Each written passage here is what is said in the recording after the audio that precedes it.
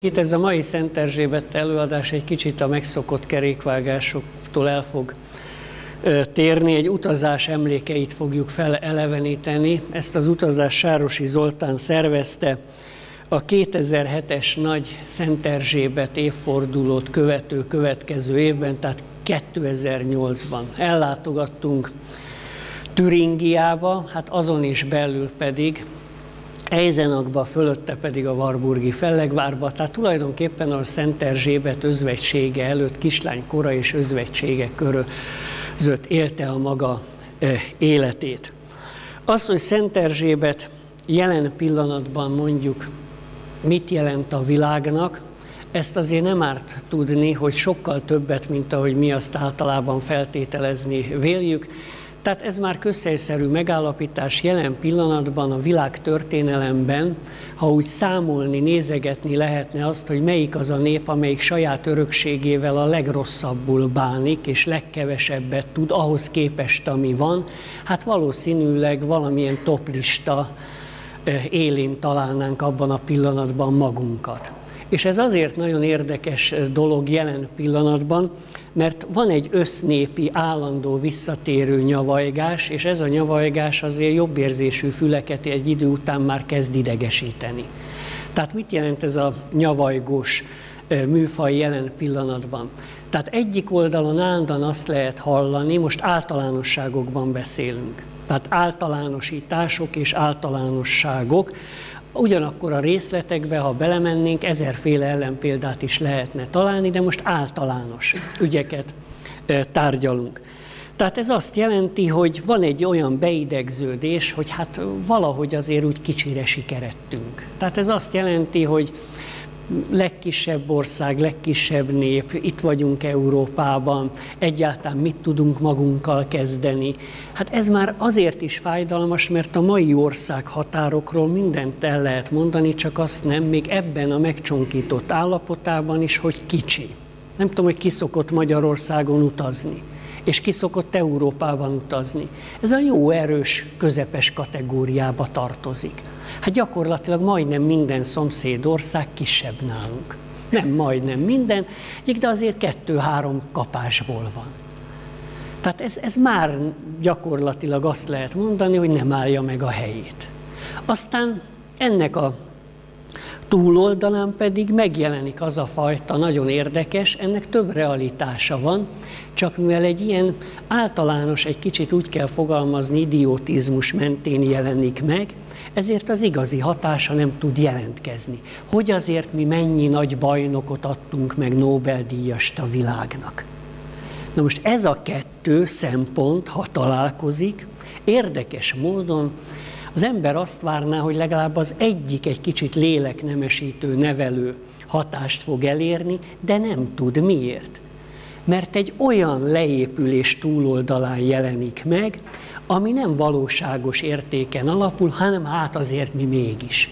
Hát ahhoz ismerni kellene saját múltunkat, hogy tényleg azt tudjuk mondani, hogy mégis, és erre a múltra tényleg lehetne alapozni.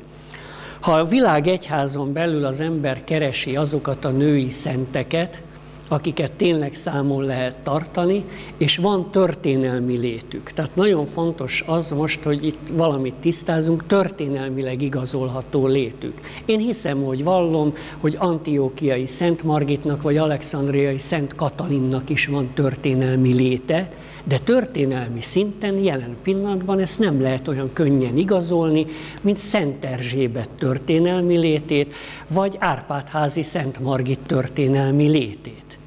És hát amikor elindul az őskereszténység és a kereszténység a maga útján, hát ténylegesen a női vonulaton belül hatalmas nagy női szentek jelennek meg, a férfi ágazaton belül ugyanúgy. Hát gondoljunk egy sárkányölő Szent Györgyre.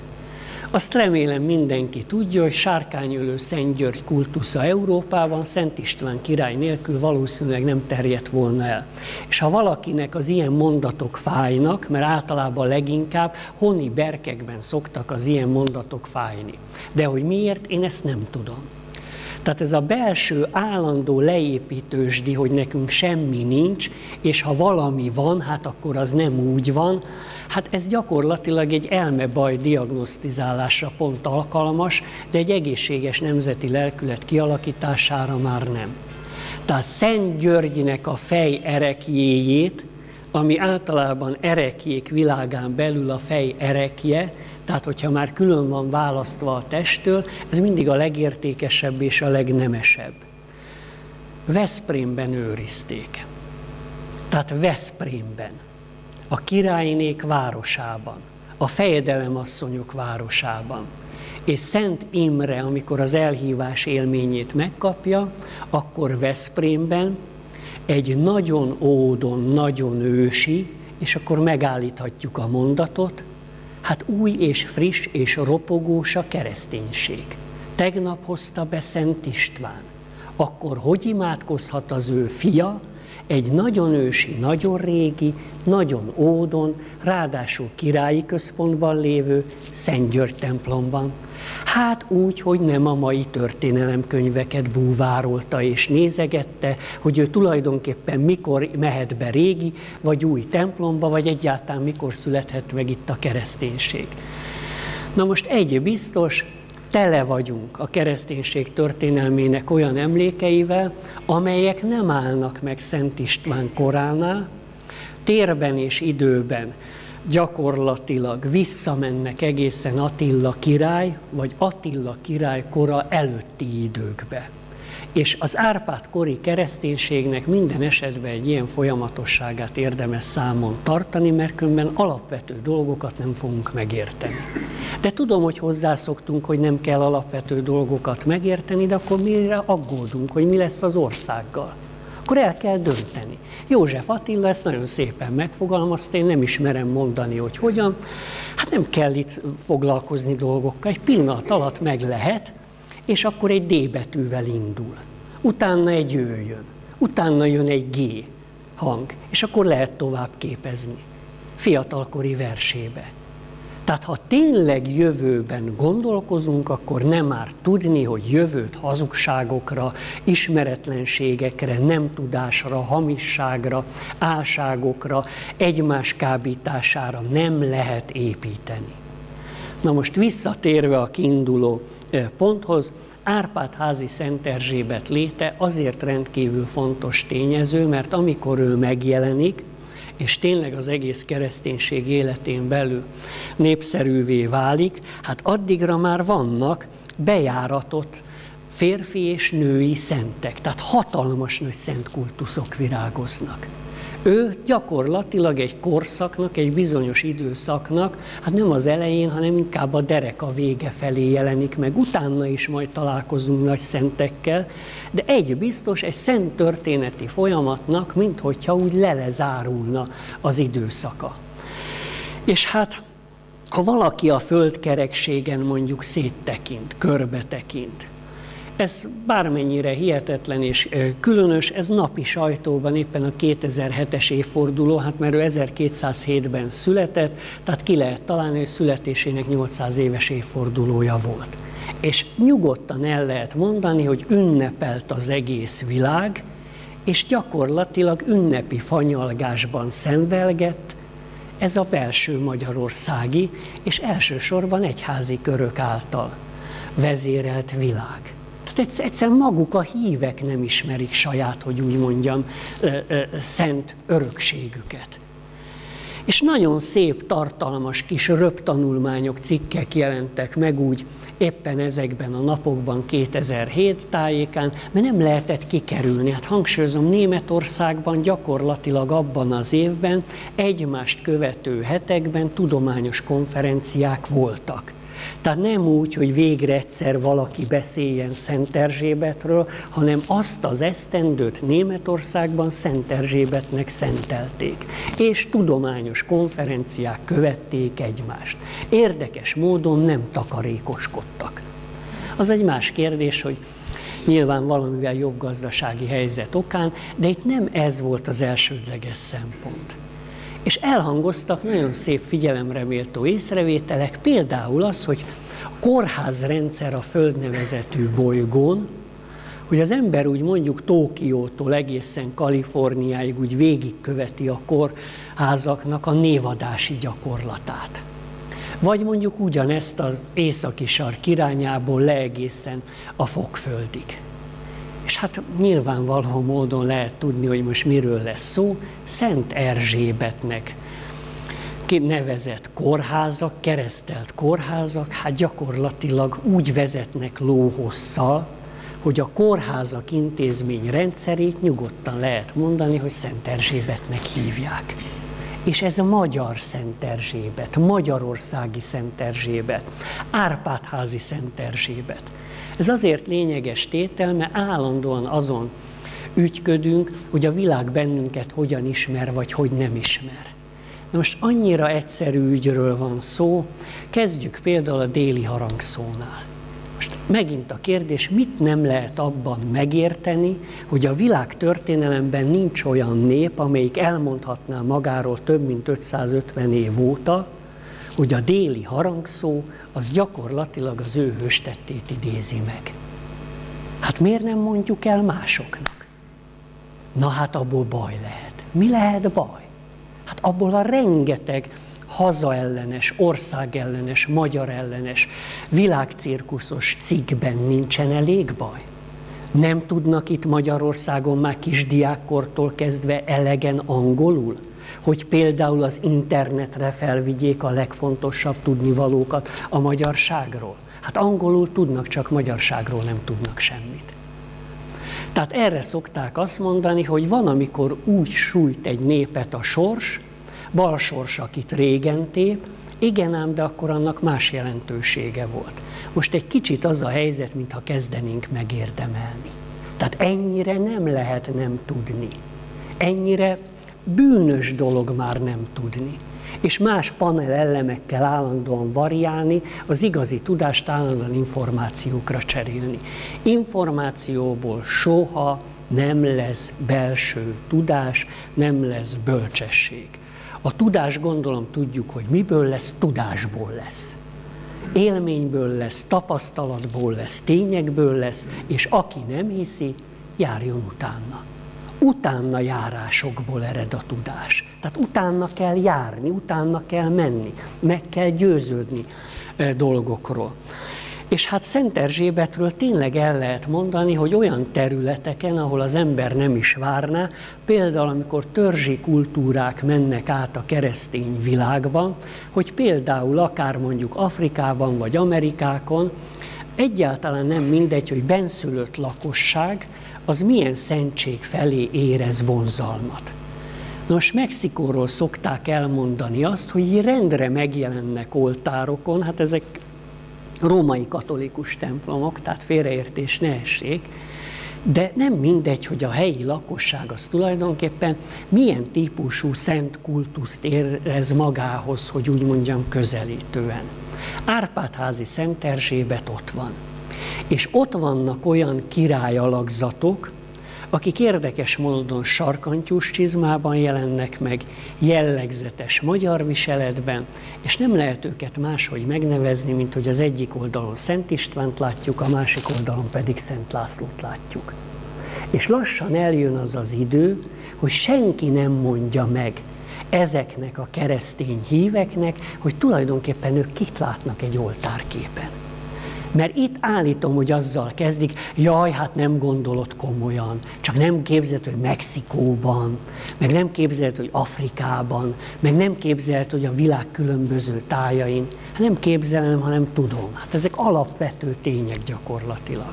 Most a kérdés viszont így hangzik.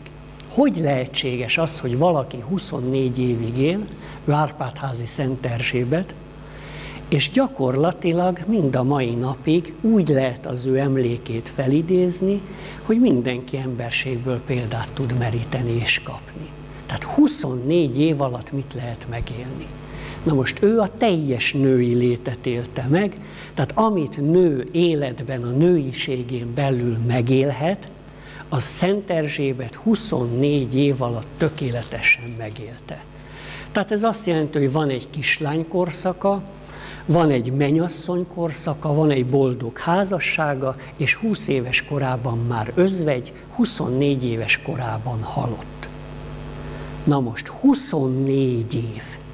Tehát a kérdés, mert mindig érdemes kérdéseket feltenni, kioltja be a lelkekbe ezt a csodálatos 20. század második feléből származó méteit, ami a 21. században is tüneményesen hat, hogy késleltet.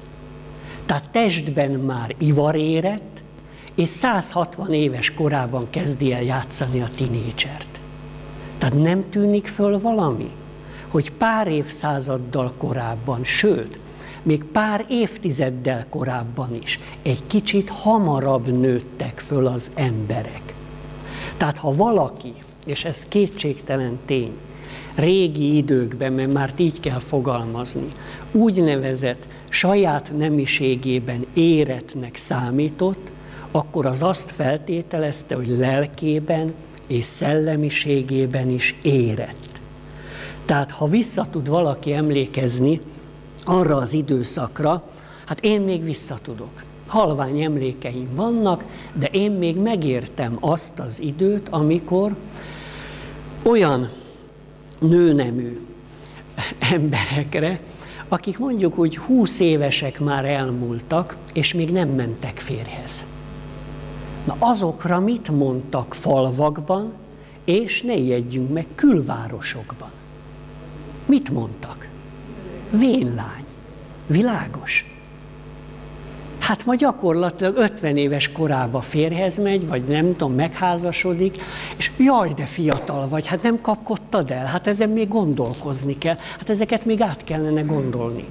Tehát most a világ történelem egy olyan fejezete kezdődött el, amelynek részesei vagyunk, tanúi vagyunk, és nagy valószínűség szerint érezzük, hogy elképesztő leépülési folyamatok vannak, látjuk is, de azzal ringatjuk magunkat, hogy ez mindig is így volt. Nem volt mindig így. Tehát Mátyás király 15 éves korában választották meg a Dunajegén Magyarország királyává, és amikor ő Budán elfoglalja Magyarország trónját, semmiféle pubertáskori, kamaszkori személyiség zavarai nincsenek, hogy akkor most mit csináljon. Uralkodik férfiként. Hát ezekre hangsúlyozom, nem azért van, mert régen ö, hamarabb váltak felnőtté, de korábban haltak meg. Ismerjük ezt a szöveget, hogy most tovább élnek az emberek. Hát ezt tetszett volna megmondani Bakóc Tamás Esztergomi érseknek hogy már 80 évesnek tetszik lenni, és nem tetszik tett arról hallani? Hát a maga korában, abban a korban az emberek ugyan tényleg korábban élnek, na de hamarabb halnak meg. Tehát ez az ára a korai érésnek. Sokkal hamarabb halnak meg. Vagy Vitéz János, megint csak Esztergomi érsek. Boldog Özséb, hát a pálos atyák. Aztán Zsigmond hány éves korában halt meg? Hát én úgy tudom, hogy 50 évig uralkodott, úgy 70 éves korában halt meg. Mi ez a szöveg? Nem tudom, hogy felfogjuk-e. Hogy hát igen, a középkorban korábban ért be az emberiség, tehát nem értek olyan hosszú ideig. Hát erre most mit mond az ember? Hát igen, nem néztek tévét, nem interneteztek, valószínűleg nem szórakoztatták egymást annyi álságos információval, hogy amivel tényleg egy fekete lyukat be lehet tömni.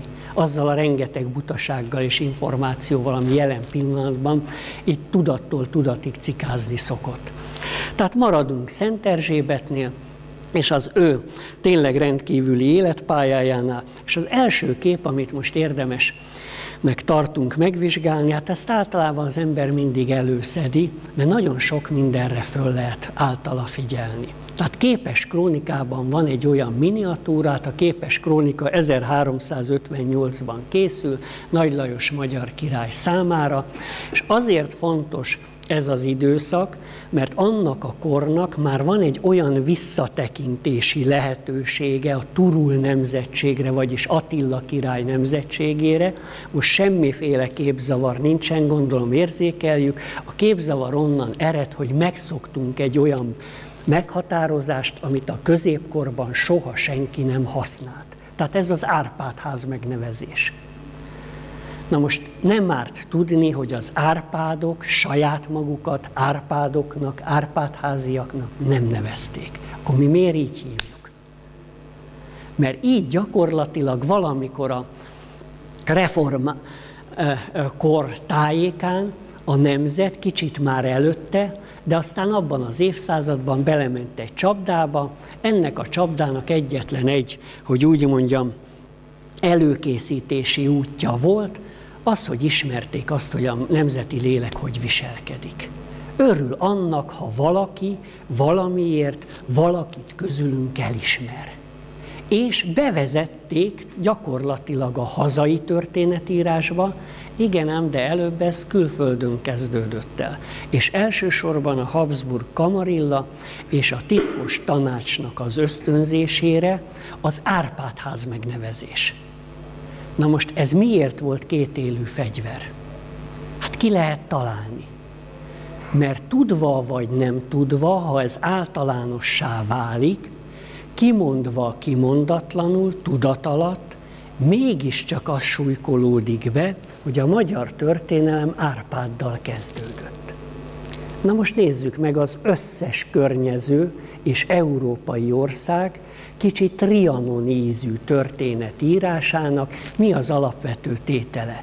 Az első magyar a Kárpát-medencébe Árpád vezérrel tette be a lábát. Tehát Árpádház. Általad nyert szép hazát, bendegúznak vére. Lehet, hogy tudjuk, lehet, hogy nem hallottunk róla, Kölcsei Ferenc írta, a műnek a címe himnusz. Ez vált a hivatalos magyar himnuszá. Tehát népnemzeti szinten, magunk felé és a világ felé, ez a nemzeti hitvallás. Kérdés így hangzik, ki volt Bendegúz? Bendegúz mi tudjuk, nyilván hát azért vagyunk itt, de nem már tudni, hogy kezd kikopni az oktatási rendszerből.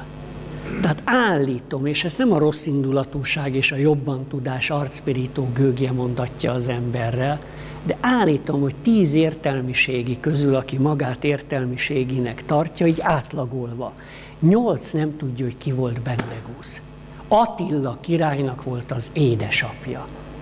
Tehát a magyar történelmi hagyomány, akár egyházi, akár világi, akár krónikás, minimum Attillától indítja a magyarok Kárpát-medencei történetét. És ez nincs mit hozzátenni. Ebből csak elvettek. És nem is olyan régen ám. Tehát azért nem már tudni, hogy ez száz évvel ezelőtt egyáltalán nem volt, hogy úgy mondjam, olyan, olyan remekbe szal. Hát persze, hát tudjuk. Kérdés így hangzik. Mi történt 1920, 1945, és ami egy kicsit kínosabb, 1990 után. Hát gyakorlatilag folyamatosít, csupaszítják le a történelmi értékeinket. Tehát azt a nemzetséget, amelyikből Szent Erzsébet származott, mivel Árpád nem alapított dinasztiát, ébresztő. Árpád nem alapított nemzetséget. És lehet, hogy rossz helyen szocializálódtam az életben, előfordul az ilyen, de én úgy tudom, hogy Árpádnak is volt apja. Álmosnak hívják. És minthogyha hallottam volna azt, hogy álmos fejedelemnek is volt apja. És lehet, hogy rosszul hallottam, de mondjuk, hát különféle változatok vannak, hogy az egyik ügyeket, másik előtt nevezi meg, de nekik is volt apjuk, Ednek hívták. És aztán Ednek is volt apja, Csaba királyfinak hívták. És Csabának is volt apja, Attila királynak hívták.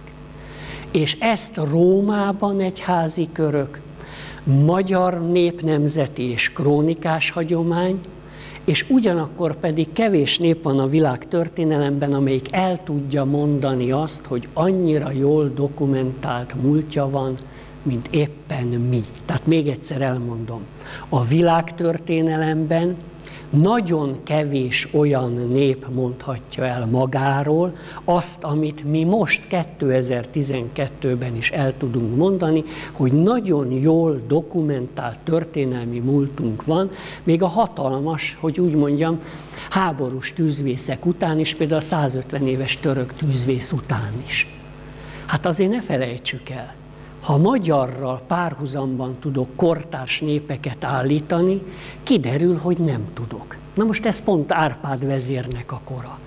Perzsa krónikások, ugyanakkor, hát nézzük meg térképen, hogy hol van Perzsia.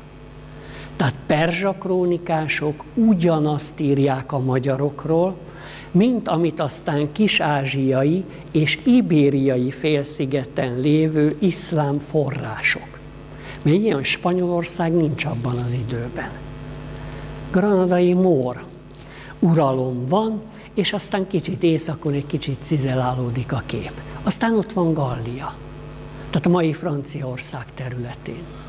Minden egyes kolostori forrás, minden egyes iszlám krónikás forrás, különféle népek, indoeurópai népek, török népek, ugyanúgy és ilyen hatalmas területen. Tehát akár barátról van szó, akár ellenfélről, akár ellenségről, szkítának, hunnak, vagyis magyarnak hívja a magyar népet. Na most keressünk abból a korból hasonló népnemzeti dokumentációt. Hát valószínűleg nem fogunk ilyen nagyságrendben találni. Rövidre zárva, a nemzetséget úgy hívják, hogy Attila király nemzetsége, még egy változatban megjelenik, de az is Attilához kötődik. Gondoljunk Kézai Simon krónikájára, negyedik Béla unokájának, Kullászlónak írja a krónikát, abban hangzik el, hát mert az maradt meg. Hát azért ne felejtsük el, csak tudja, hogy a királya milyen nemzetségből származik. Turul nemzetségnek hívják. És a turul az egy koronát fején viselő, szentlélek jellegű madár. Tehát ornitológiailag én nem tudom őt megfogni, leginkább még a sólyomra fog emlékeztetni. Tehát nem sas, nem héja, nem ő, sólyom-szerű, de mitikus, titokzatos, tényleg lélekmadár. Tehát a szó legnemesebb értelmében a turul az a legősibb lélekmadarak világába tartozik, és koronája van. Tehát amit lélek szintjén, szellemiség felé, és mindazt meghaladva, mert a korona az azt jelenti, valaminek a csúcsára elérkezett. Na ezt jelenti ez a lelkület. És Attilának a pajzsán koronás fejű turulmadár van, a pajzs általában azt jelenti, hogy mi az, ami megvéd bennünket, tehát ami a pajzson van. Hát eleve a pajzsa védelmet jelenti. Ha ezen egy koronás fejű turulmadár van, akkor nem az a lényeg, hogy a pajzs milyen anyagból készült, hanem ezt a nemzetséget, ezt a népet ő védi. Úgy támadjál minket.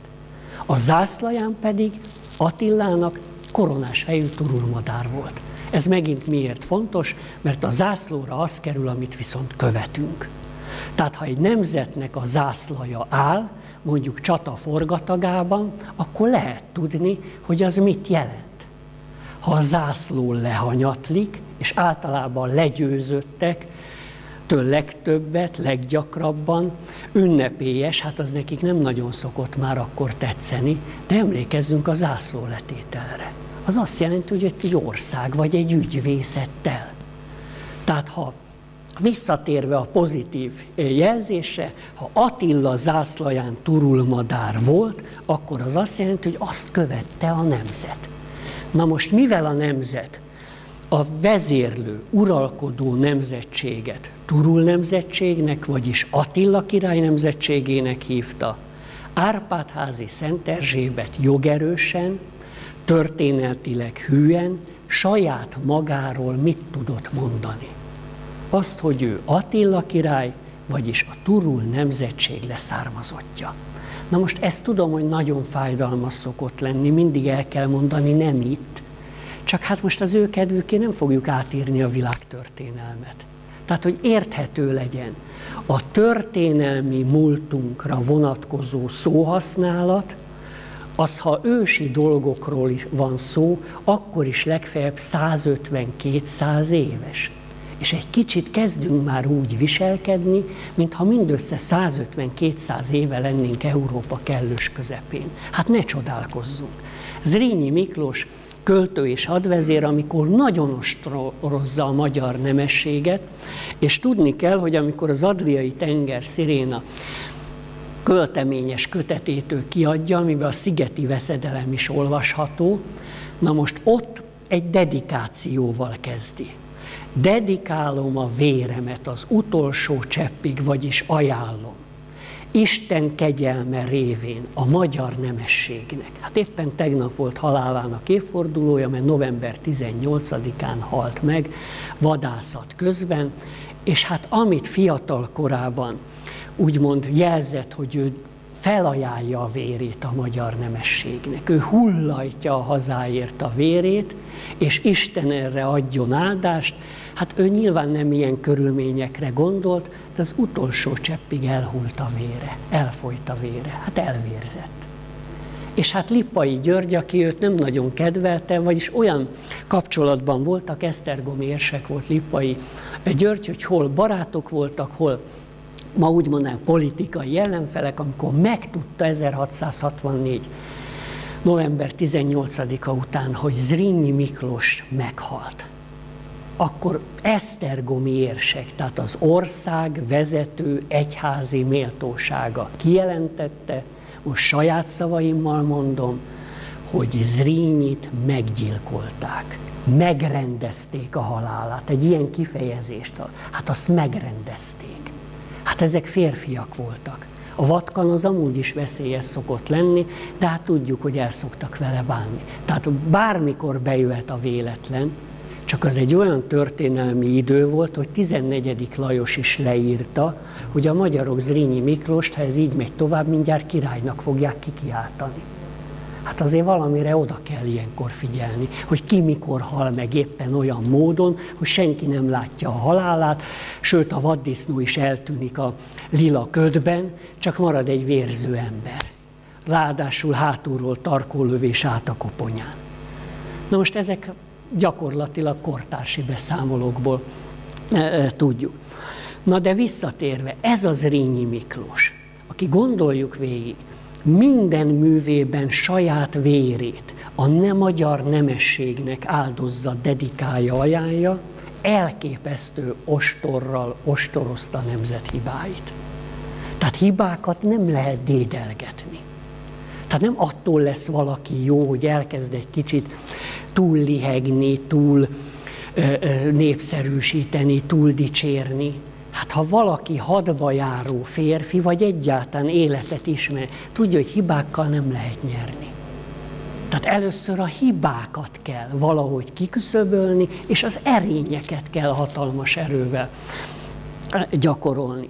És ő a következőket mondja. Jupiter nevét használja, ókori teremtő főisten így nevezik, másik neve Zeus, tehát a római görög mitológiai hagyományból, és majdnem minden művében leírja. Jupiter, ha valakit el akar pusztítani, először elveszi annak az embernek az eszét. Tehát, tehát kicsit oly, úgy olyanok vagyunk, hogy mi, mi, mi nem is tudom. Tehát úgy, úgy keressük. És úgy eszegetünk, eszegetünk, csak az eszünkhöz nem jutunk el. Mert mintha mást eszegetnénk mint hogyha nem az menne az észbe, ami tényleg mondjuk táplálná egy világos látásnak a, a e, lehetőség körét és lényegét. Tehát újra visszatérek a kiinduló ponthoz, úgy hívják a nemzetséget, hogy Turul nemzetség, Attila király nemzetsége, és Szent Erzsébete Türingiában, tehát amikor ő oda került, más néven nem is nagyon illethették. Tehát a nemzetség nevét mindenki használta. És ez a nemzetség névhez kapott a keresztségben egy nevet. Na most az akkori viszont keresztségben kapott nevek túlnyomó többsége a mai keresztény névhasználatban pogánynak minősülne. Viszont felteszem a kérdést, akkor melyik kor volt kereszténykor? Hát azért vegyük észre, például ilyen nevekkel találkozunk, hogy Hektor Ispán, Achilles ispán Magyarországon. Aztán nem beszélve a többi olyan névről, amit mi kapásból keresztény gyökerűnek tartunk, de Géza soha nem volt keresztény eredetű név. Béla soha nem volt keresztény eredetű név.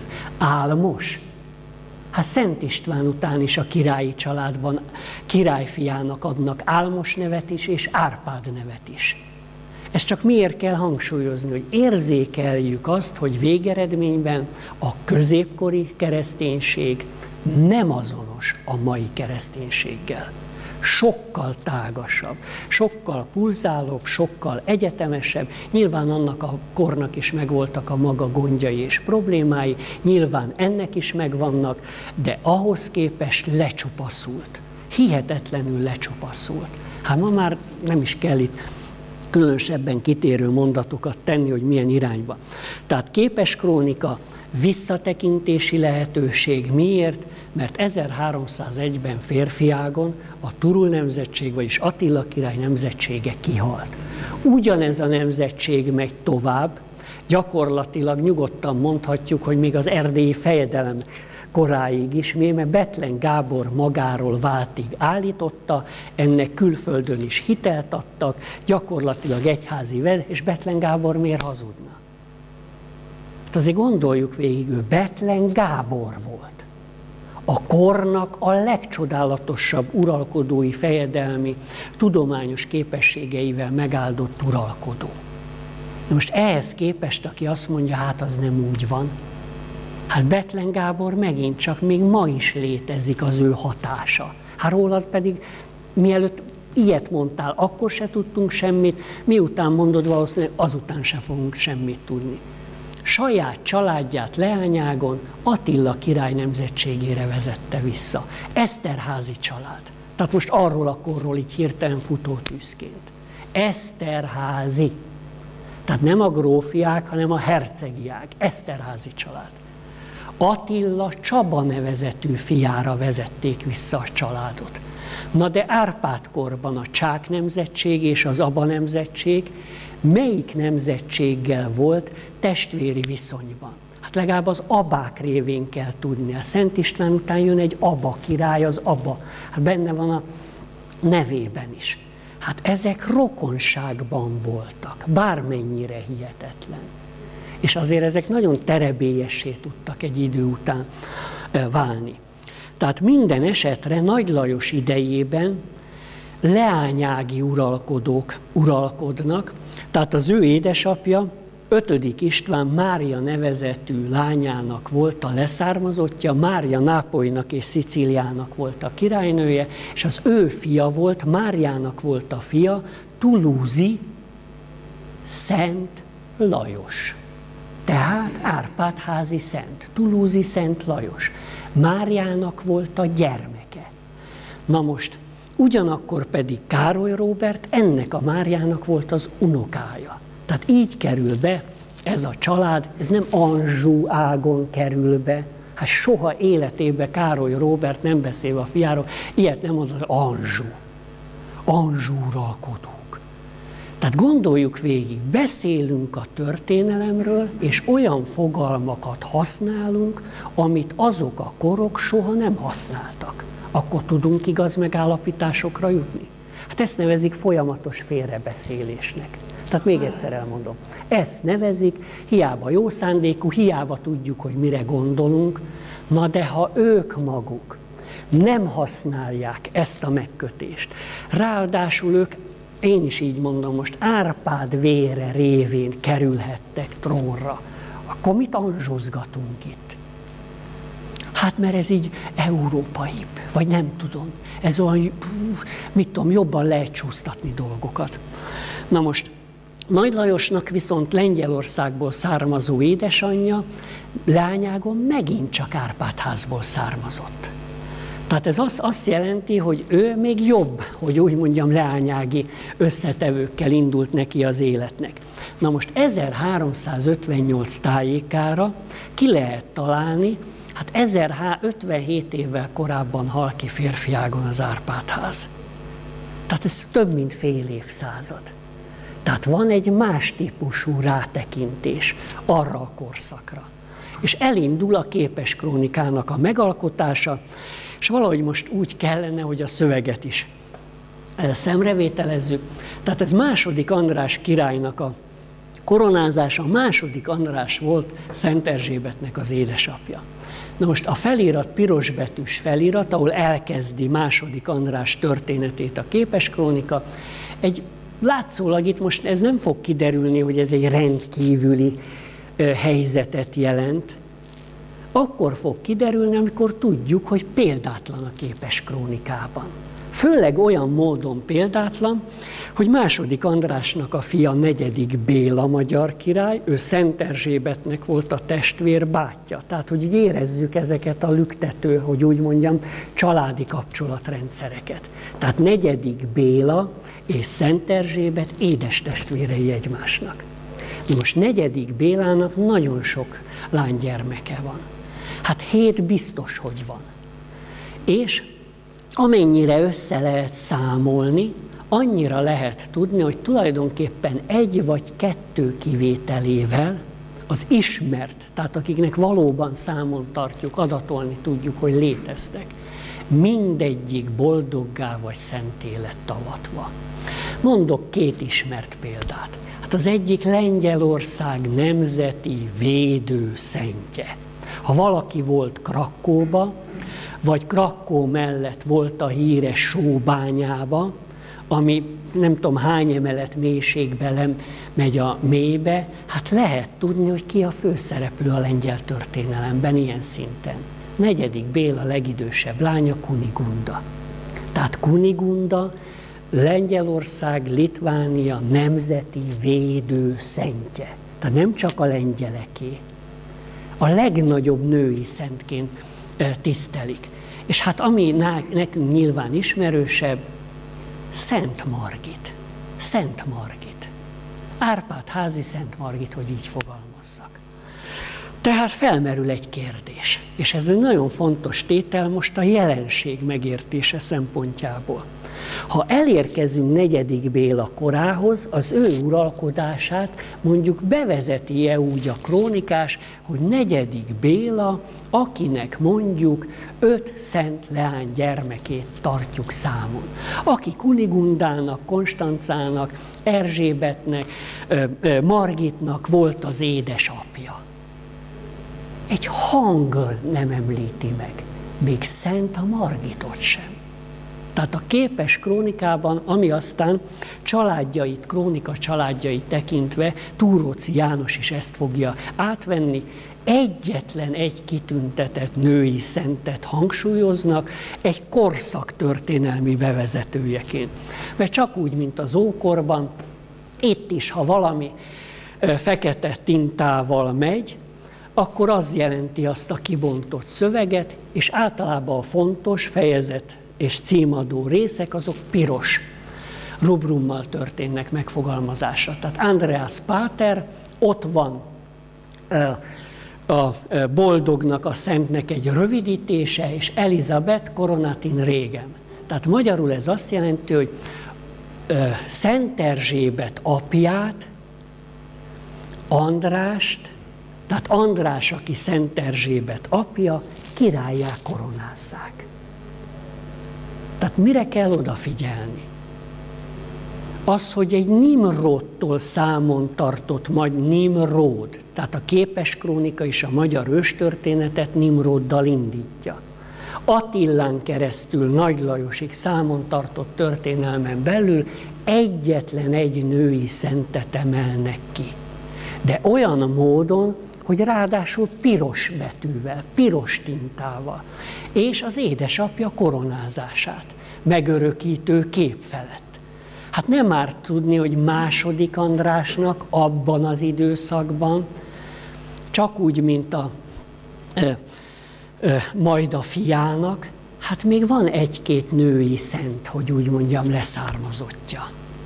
Hát egy másik feleségétől, Jolántától, van egy Jolánta nevezetű, Aragóniába megy. Szentként tisztelik mind a mai napig. Aztán kérdés így hangzik, portugáliai Szent Erzsébet. Milyen Szent Erzsébet? Portugáliai Szent Erzsébet. Hát ezek is létező szentek. És szegről végről Árpádházi leszármazottak. És nem szívesen teszem, mert az idő a sürget bennünket, de még jön egy kis kitérő. A bizánci egyházon belül, tehát az ortodox egyházon belül. Nem mi, de mi tudunk róla. Kit lehet a legnagyobb női szentek között számon tartani, vagy, vagyis tulajdonképpen kit tartanak a legnagyobb női szentnek. Szent László leányát, aki piroskának születik, és Szent Iréne néven éli a maga életét Bizáncban. Szent Iréne mind a mai napig a bizánci egyház legnagyobb női szentje. Ha valaki elmegy a Hagia Szófiába, vagy elővesz véletlenül egy albumot, és megnézi a Konstantinápolyát, a Hagia Szófia az egyik legfontosabb templom volt. Kevesen tudják azt, hogy Szent Iréne alapított egy másik templomot, és lassan a bizánci császári koronázások is átmentek Szent László lánya alapítású templomba a Hagia Szófiából. Na most itt mondja az ember azt, hogy jó, hát most ez miért érdekes tétel, mert ami kevés, azért túl sok a kevéshez képest, mozaik megmaradt a Hagia Szófiából. Hát az egyik legismertebb. Középen áll Szűz Mária kezében a kisded Jézus. Hát ott kifejezetten mindig úgy jelenik meg a szüzanya ölében Jézus, hogy lehet érzékelni, hogy a kisgyermek feje az ő lelke közepében van. Tehát mindig itt alakítják ki Jézus dicsfényét. Nem úgy, hogy nálunk, hogy karjában ül és kilóg, ott egy kicsit szigorúbban jelzik azt, hogy az anya lelkében, lelkiségének szintjén jelenik meg. Jobbjánál ez a Komnénosz János, és balján pedig Szent Iréne. Szent Iréne, az Árpád házi szent. Na most róla mondták el a következőket, kórházakat alapított, ez miért érdekes tétel? Hát Szent Erzsébet mit csinál? Tehát ébresztő. Hát itt egy családi, egy nemzetségi egy belülről fakadó, öröklődő tulajdonságkörről van szó. Pestises és leprás gyerekek, betegeket saját kezűleg gyógyít és kezel. Tehát nincs közvetítés, nem Szent Erzsébetről van szó. És ma is úgy ünneplik őt, mint aki árvaházakat, kórházakat, a, a legbetegebb betegeket, ahogy gyógyította. Hát ha nem mondom, hogy Szent Erzsébet, akkor kapásból a Szent Erzsébet életvitel jelenik meg. Tehát érzékelni kell ezeket a nagyságrendeket, és azt is, hogy Nagy Lajos király korában, miért? Mert közben a Palajologosz császári ház Nagy Lajostól várta a török fenyegetés előli védelmet és mivel a Palaiologos császári háznak az ős anyja, az harmadik Béla királyunk lánya volt, az ős anyja. Magyarul kik voltak ők? Hát tulajdonképpen persze, hogy már a kibontakozó kapcsolat szintjén alig van rokonság, na de érdekes módon, mit hoz az élet? Egy Árpád házi királylány tartanak a 13. századtól 1453-ig a bizánci császárok, a palajologos, bizánci császári család ősanyjának.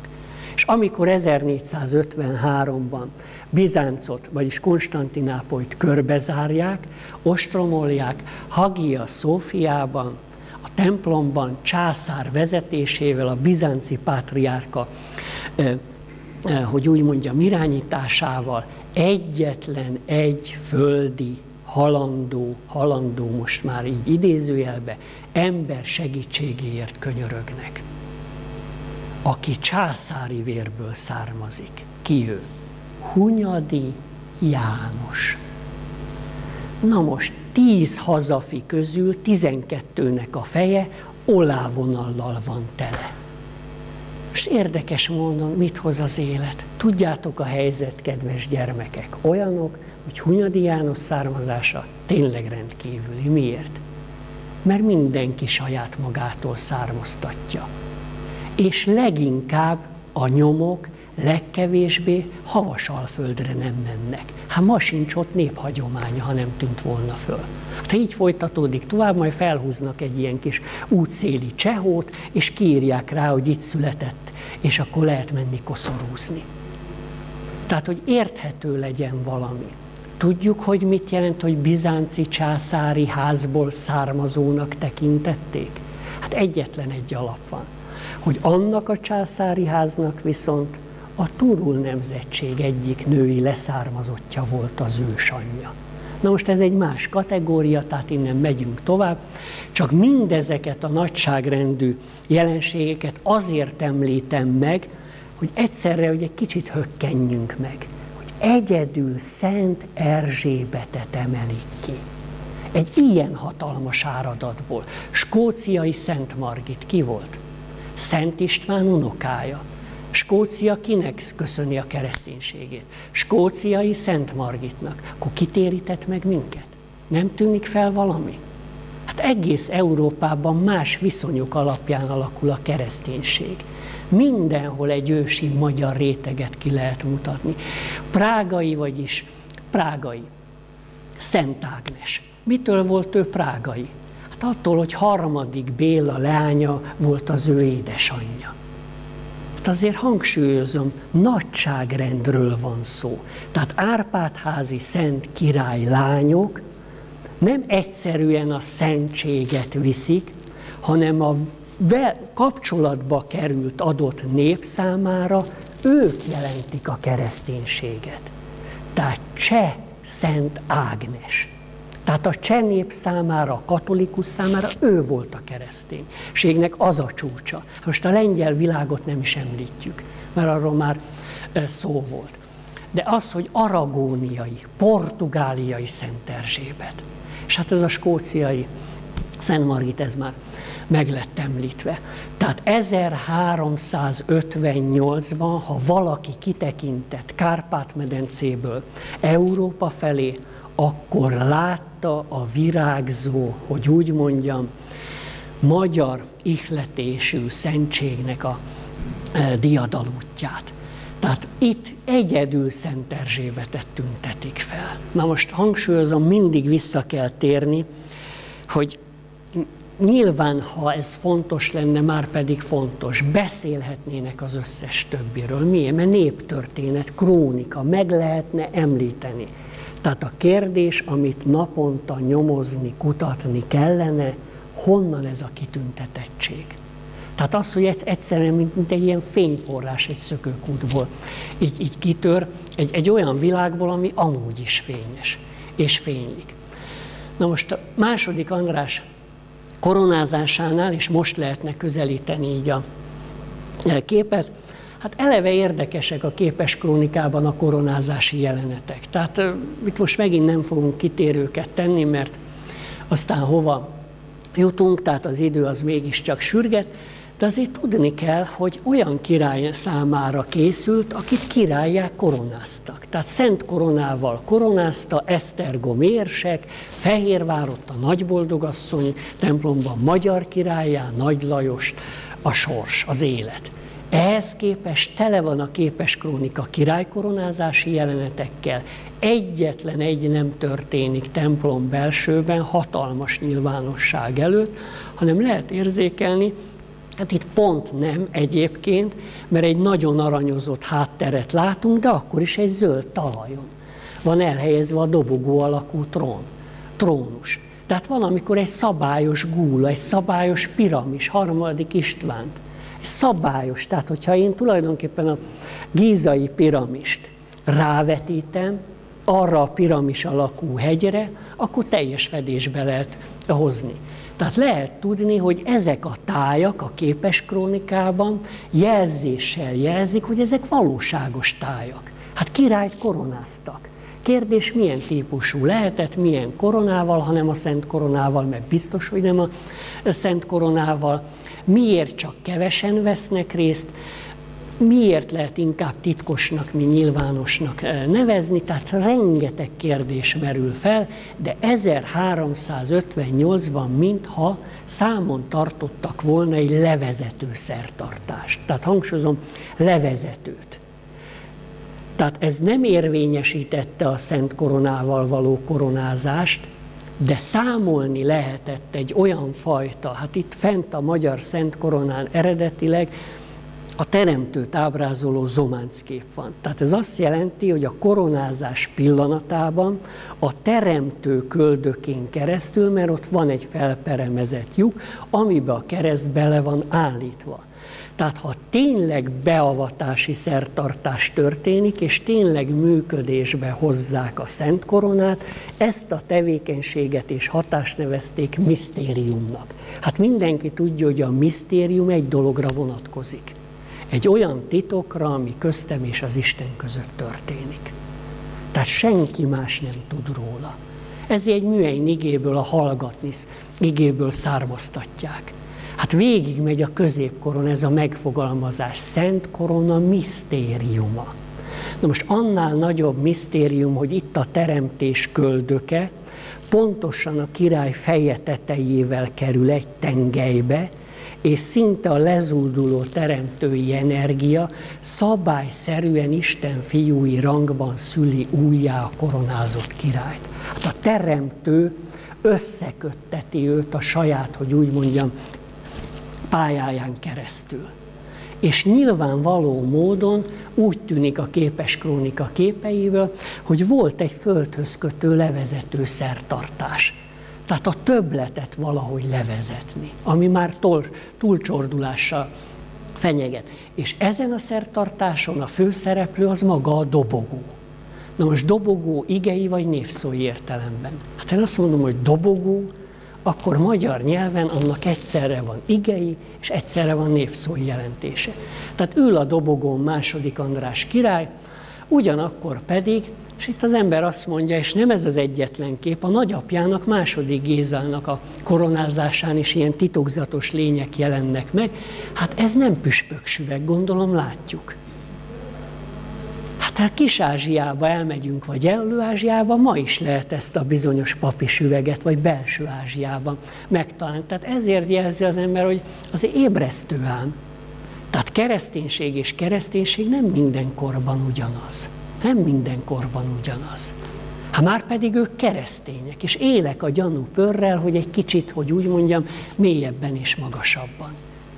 Hát nem beszélve arról, hogy ők naponta, tehát nem úgy, hogy vasárnap bekapcsolja a rádiót, vagy kicsoszog a templomba, kiautózik a templomba, mert hát tulajdonképpen a cukrászda előtt vagy a cukrászda után jól jön egy ilyen kis, kis polgári élet, ahol ott lehet ájtataskodni. Hát ez teljesen más. Minden tiszteletünkben még ez is valami. Tehát ne felejtsük el, ott általában egy átlagmisén és azért ez túlzás.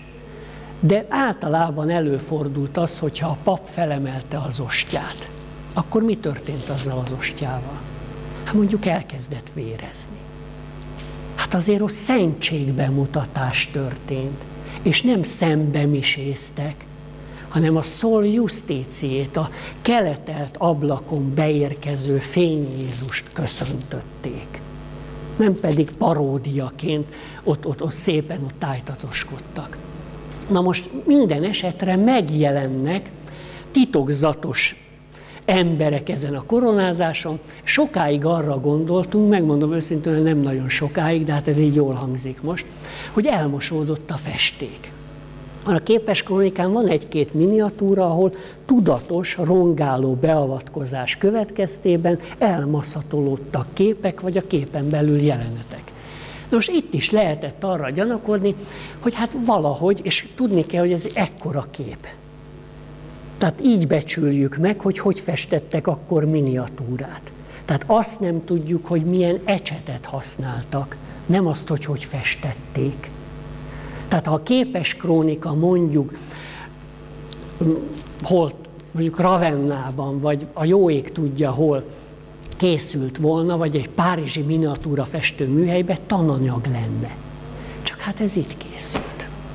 És a világ végéig nagyíthatom fel, és nem esnek szét az arcok.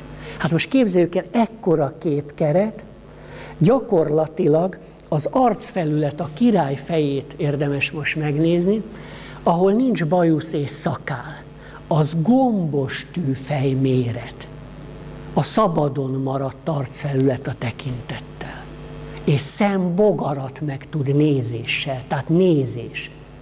Tehát a nézést meg tudja, és karakter tud ábrázolni. És nem lehetne ebből tanítani a magyar történelmet? Hát nem, mert akkor nem épülne le az ifjúság. A felnőttség meg valahogy nem vonulna az boldog idióta öreg szenilis kor felé ütemes lépésekkel. Hát ezek szó szerint meditációs képek. Tehát egy betekintést kapok egy eseményről, és karaktereket ábrázolnak. Na most úgy, hogy a koronázó személyek is megjelenjenek, tehát ha így meg tud festeni, hogy második András arcát meg tudja festeni, ahogy a nőnek az arcát, vagy a két férfi ember arcát meg tudja festeni, hát nyilván a koronázókat is.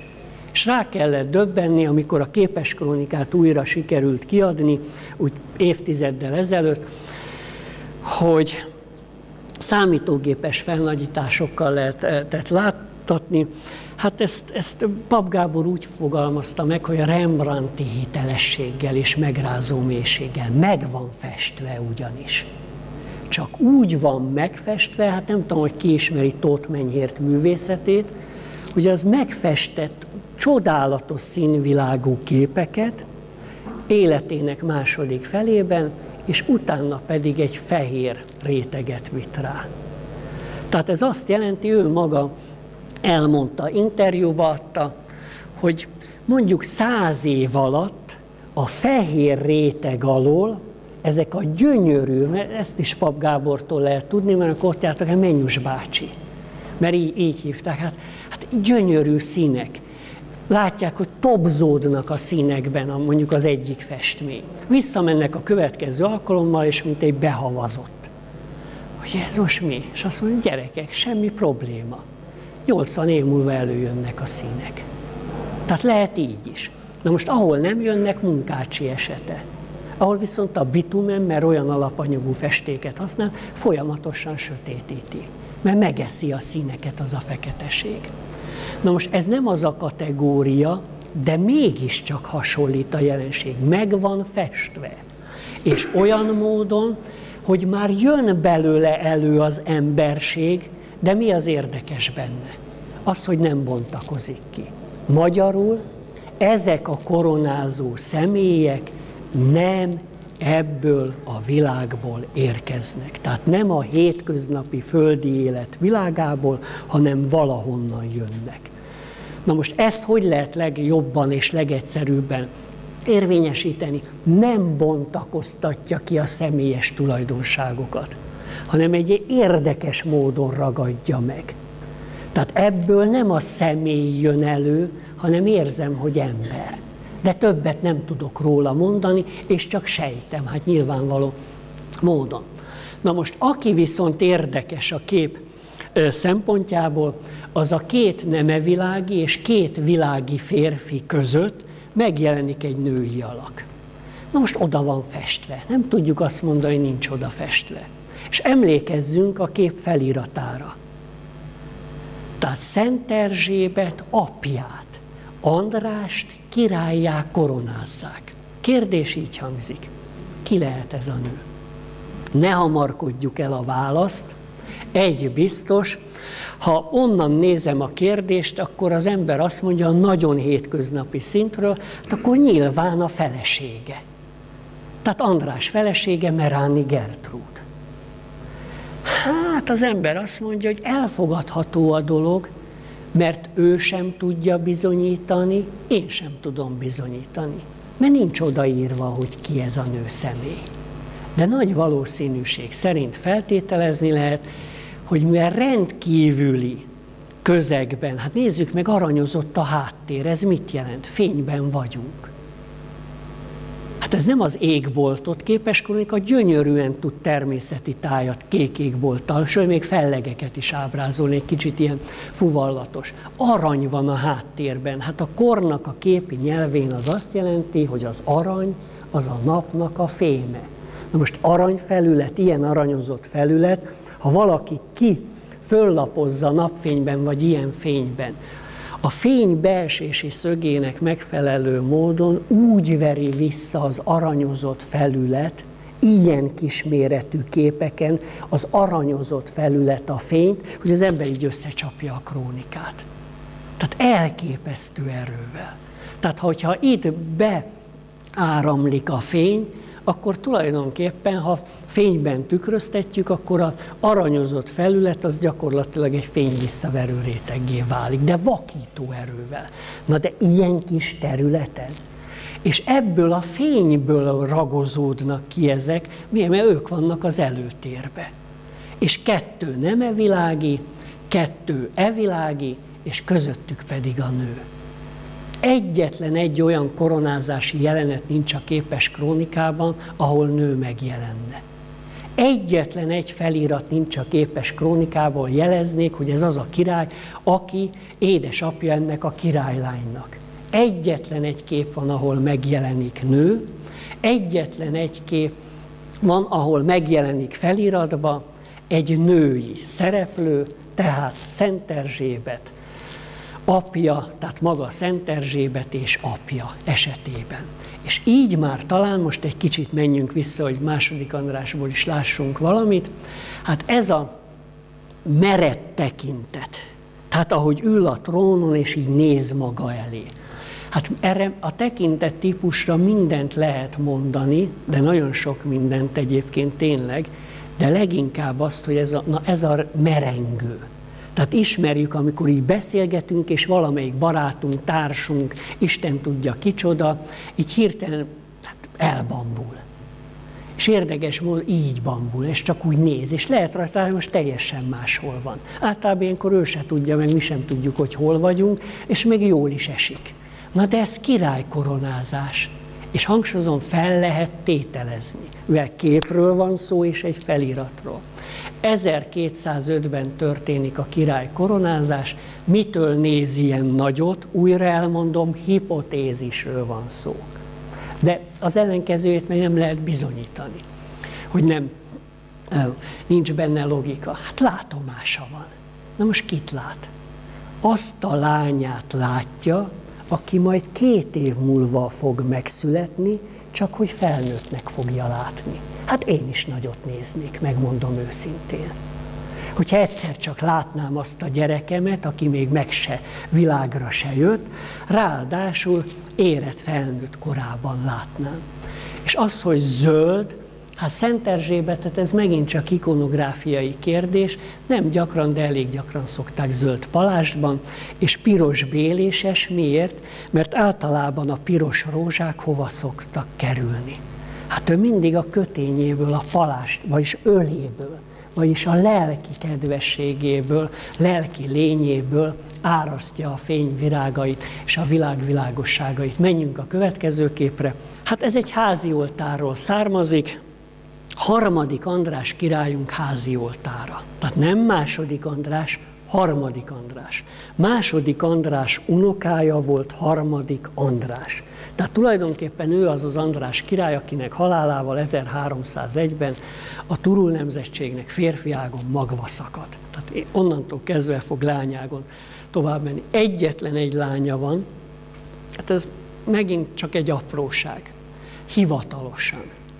Tehát azért ezeket mindig érdemes számon tartani, hogy mondunk nagyon jó adatokat, és nem azért, hogy dolgokat így, így megkérdőjelezzünk, de hát, na, és ha kettő volt, és ha három volt, és ha még volt öt, na minden esetre egy lányáról tudunk. Egy szem gyerek, egy szem lány, Erzsébet névre keresztelték, és ő is szenté lett avatva.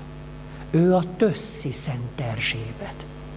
Tehát nem csak második Andrásnak van Szent Erzsébet nevezetű lánya, hanem második András unokájának, harmadik Andrásnak, és valószínűleg azt az egy szemlányt, amikor világra született. Nyilván nem tudta, hogy ez lesz az első és utolsó. Hát nem véletlenül keresztelték Erzsébet névre. Hogy mi ez tartás véget. Mit lehet tudni, hogy mit hoz a jövő.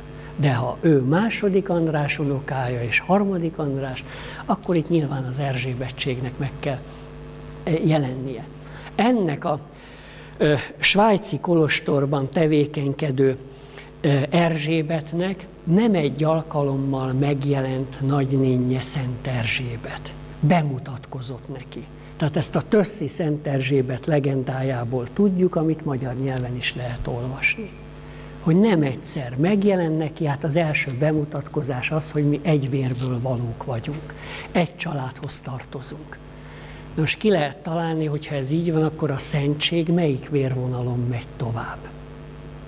Hát ez a Turul nemzetség, Szent Királyok nemzetsége. És elképesztő sorsa van egyébként ennek a Erzsébetnek, és hát királyi kincseket vitt magával innen Budáról. És amikor ő meghal abban a kolostorban, hát rövid időn belül magyar főurak megjelennek a kolostor ajtajában, és a magyar királyok kincseit kérik vissza. Tehát elviheti a királyi család tagja, na de ez nem magántulajdon. Ez a család, hogy úgy mondjam, vonalán megy tovább. És számon tartották ezeket a kincseket, mert ezeknek liturgiai, szertartási, hát ezek hatottak, ezeknek hatásuk volt. Hát amikor Habsburg Károly, Habsburg Károly, Habsburg negyedik Károly, amikor jönnek át az aranykincsek Mexikó irányából, gondolom tudjuk, hát ezt maga Dürer is szóvá teszi a maga idejébe, ezeket a kincseket egyből beolvasztatja a császár. Abban a pillanatban. Na most, Munkács várában összegyűlt kincsek, amik Zrínyi Ilona birtokában voltak, és a vár átadása révén letétbe Habsburg Lipótnak oda kellett adni, letétbe, tehát megőrzésre. Rákóczi leírja Rodostóba, soha az életbe ezekből a kincsekből semmit nem láttam. Nem is láthatott. Miért? Mert ami egy érték felettinek számított, tehát ránézésre hihetetlen magasrendű szellemi produktumnak, azt abban a pillanatban beolvasztották.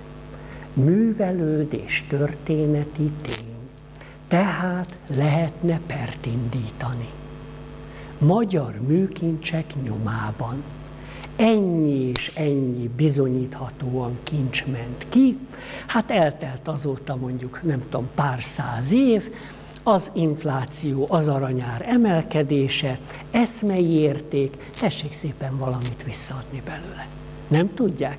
Hát elfogadjuk azt, amit vissza tudnak adni. Hát azért lehetne itt brillírozgatni. Hát nyilván az ember nem várna túl sokat tőle, na de álltok szabadságharcot vívunk.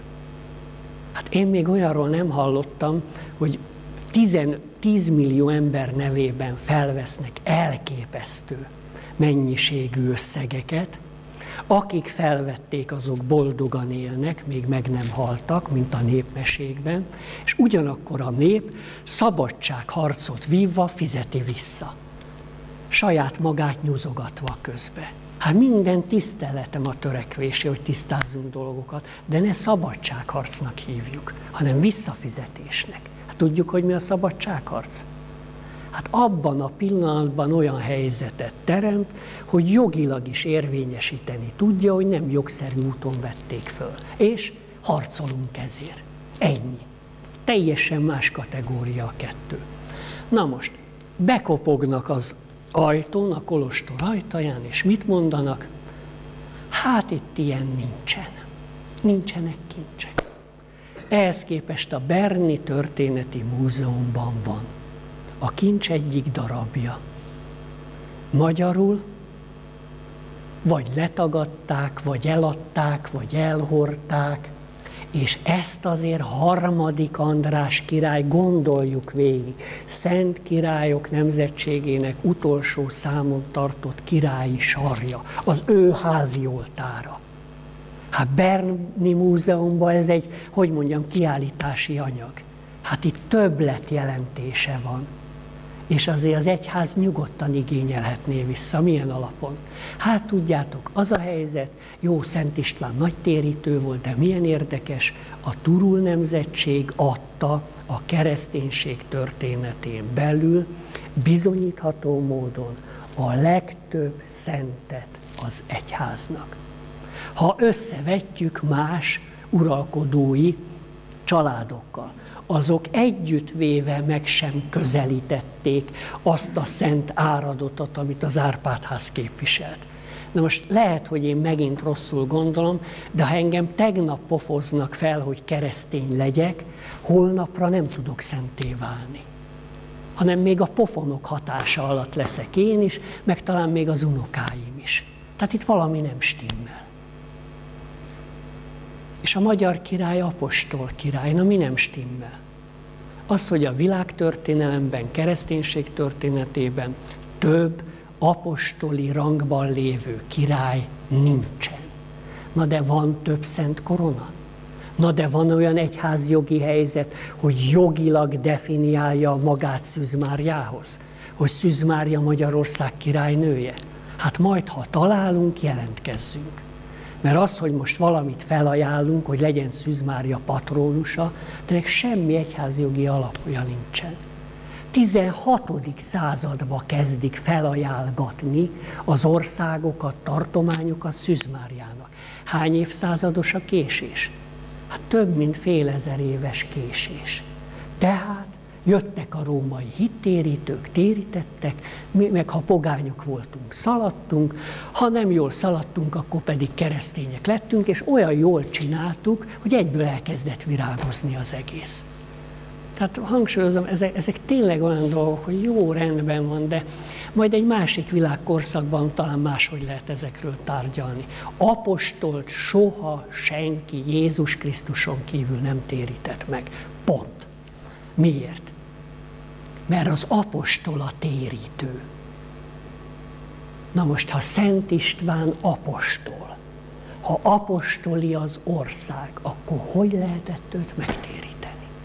Nagyon nehéz végig gondolni, valószínűleg valamilyen gyógypedagógiai emelt szintű kurzussal kell elkezdeni, hogy végig tudjuk gondolni. És ki a főapostol? Tehát az apostolok kit neveznek apostolnak? Jézus Krisztust. Ki van itt elől a magyar szent koronán? Így itt elől. Jézus Krisztus. Tehát térítsük már meg, lehetőleg olyan hittérítőkkel, akiknél azok a vallási képzetek és fogalmak, amit ők állítólag ahonnan hozták, nincsenek meg. Na de ez egy külön. Tehát harmadik András király házi oltár, ez egyébként színes, tehát csak ez egy nagyon rossz minőségű fekete-fehér felvétel. Hát ha valaki a zománc művészetben otthonosan mozog, az pontosan tudja, hogy ez a filigrános díszítés és gyöngypefoglalás magyar Szent Koronán ugyanígy jelenik meg. Tehát ez egy, ez egy műhely. Tehát azon nyomban lehet azonosítani. Ahol ezek a kis aranyhuzalok megjelennek, mondjuk, hát ott látjuk ezeket, a, amennyire lehet látni, azok kis gömböcskék, azok általában gyöngyök vagy drága kövek. Ezt egyedül Magyarországon csinálták. És ha a Szent Korona felső részén ez az ötvösi technika jelenik meg, akkor, akkor megint nem olyan nehéz ám úgy azonosítani műhely munkákat is. Hát a Mátyás király Bécsben ötvös akadémiát hív létre, és magyar magiszterek tanítanak. Mikor? 1485 után. Ha átmegyünk ide, és nagyon szeretném, hogyha az esztergomiak néha elmennének a kincstárba, és megnéznék Suki Benedek bácsi kejhét. Csak azért, hogy gondolkodjunk egy kicsit. Suki Benedek nem király volt.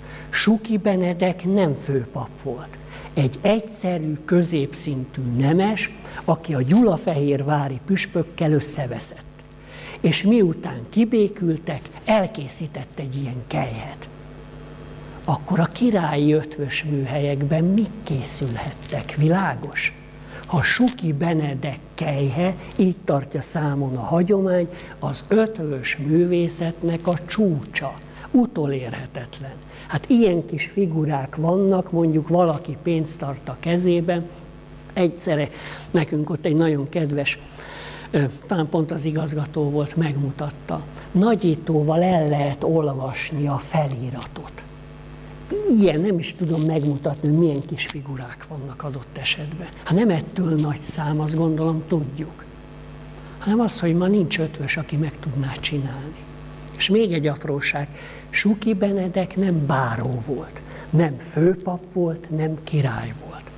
Na most ezen az oltáron, ja igen, köszönöm szépen, tehát menet közben becsúszott, tehát itt lehet látni, tehát vannak a gyöngytartó csapok, és ez a filigrános, ez a, hogy mondjam, aranydrót húzal, ahogy alakítja. Hát látszólag egyszerű, csak ezt az aranydrót húzalt mondjuk rögzíteni az aranylapra, hogy az ne pottyanjon le például. Milyen hőfokon?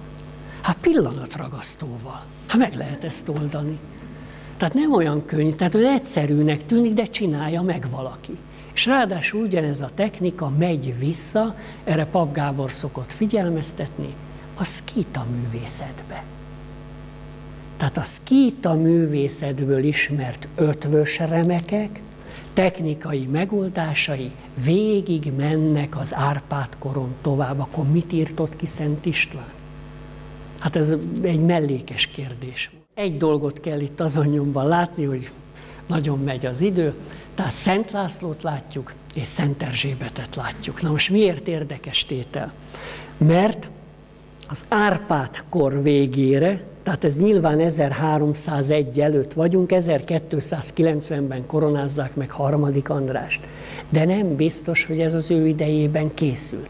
Lehet, hogy Kun László idejében. Lehet, hogy 5. István idejében, lehet, hogy 4. Béla idejében. Hát 1235-ben avatják Szenté Szent Erzsébetet. Tehát ez azt jelenti, hogy ez az oltár 1235, mármint a képek, és hát most mondjunk egy ilyet, hogy 1290-es évek tájéka között készülhetett, mert Szent Erzsébet feltűnik. Na most, ez majdnem olyan, gondolom, érzékeny, mint a képes krónika világa, még így is a rossz minőségű felvétel fekete-fehér kép után is lehet látni, mintha az jönne elő, gyönyörűen finom, ezek is ilyen kis képecskék, kristálylap mögött vannak, és itt egy jellegzetességre kell felfigyelni, itt már megjelenik a Szent Királyok nemzetségének kanonikus ábrázolása olyan módon, ha egy férfi és egy női szent egymás mellé kerül, akkor kik alkotnak egy párt. Na most Szent László mellett Szent Erzsébet. Ez mind a mai korig így megy el. Tehát oltárképeken, felvidéktől Erdélyig mindenhol lehet látni. Tehát Szent Erzsébet mellett gyakorlatilag mindenre van nyilván példa, főleg a barokkorban, de nem Szent István jelenik meg. Amikor Szent Istvánt ábrázolják, párja női szent, ki lehet találni, Szent Margit. Tehát Szent István, Szent Margit, Szent László, Szent Erzsébet. Tehát a Szent László tulajdonságkör női kiegészítő párja a Turul nemzetségen belül a Szent Erzsébeti. A kérdés, van-e erőteljesebb hatás Szent István után a Szent Lászlóin? Nincsen. Hát Szent László, csaták hőse. Hát a legtöbb Árpádkori és a 14.-15. századi freskó kitörökít meg templomok északi fal felületén.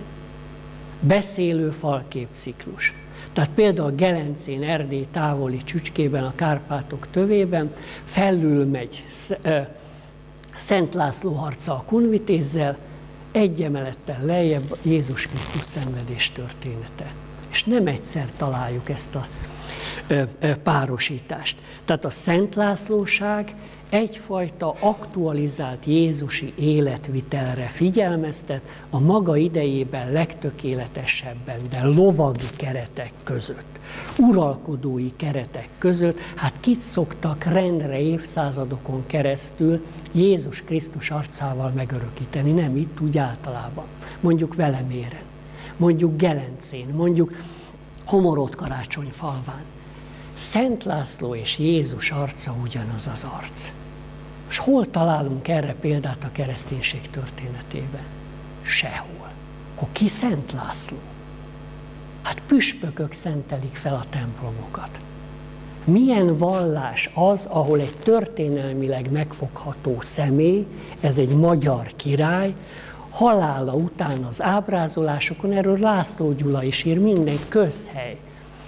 Jézus Krisztus alteregója, a második Krisztus. A kérdés így hangzik, miért nem megy át a köztudatba?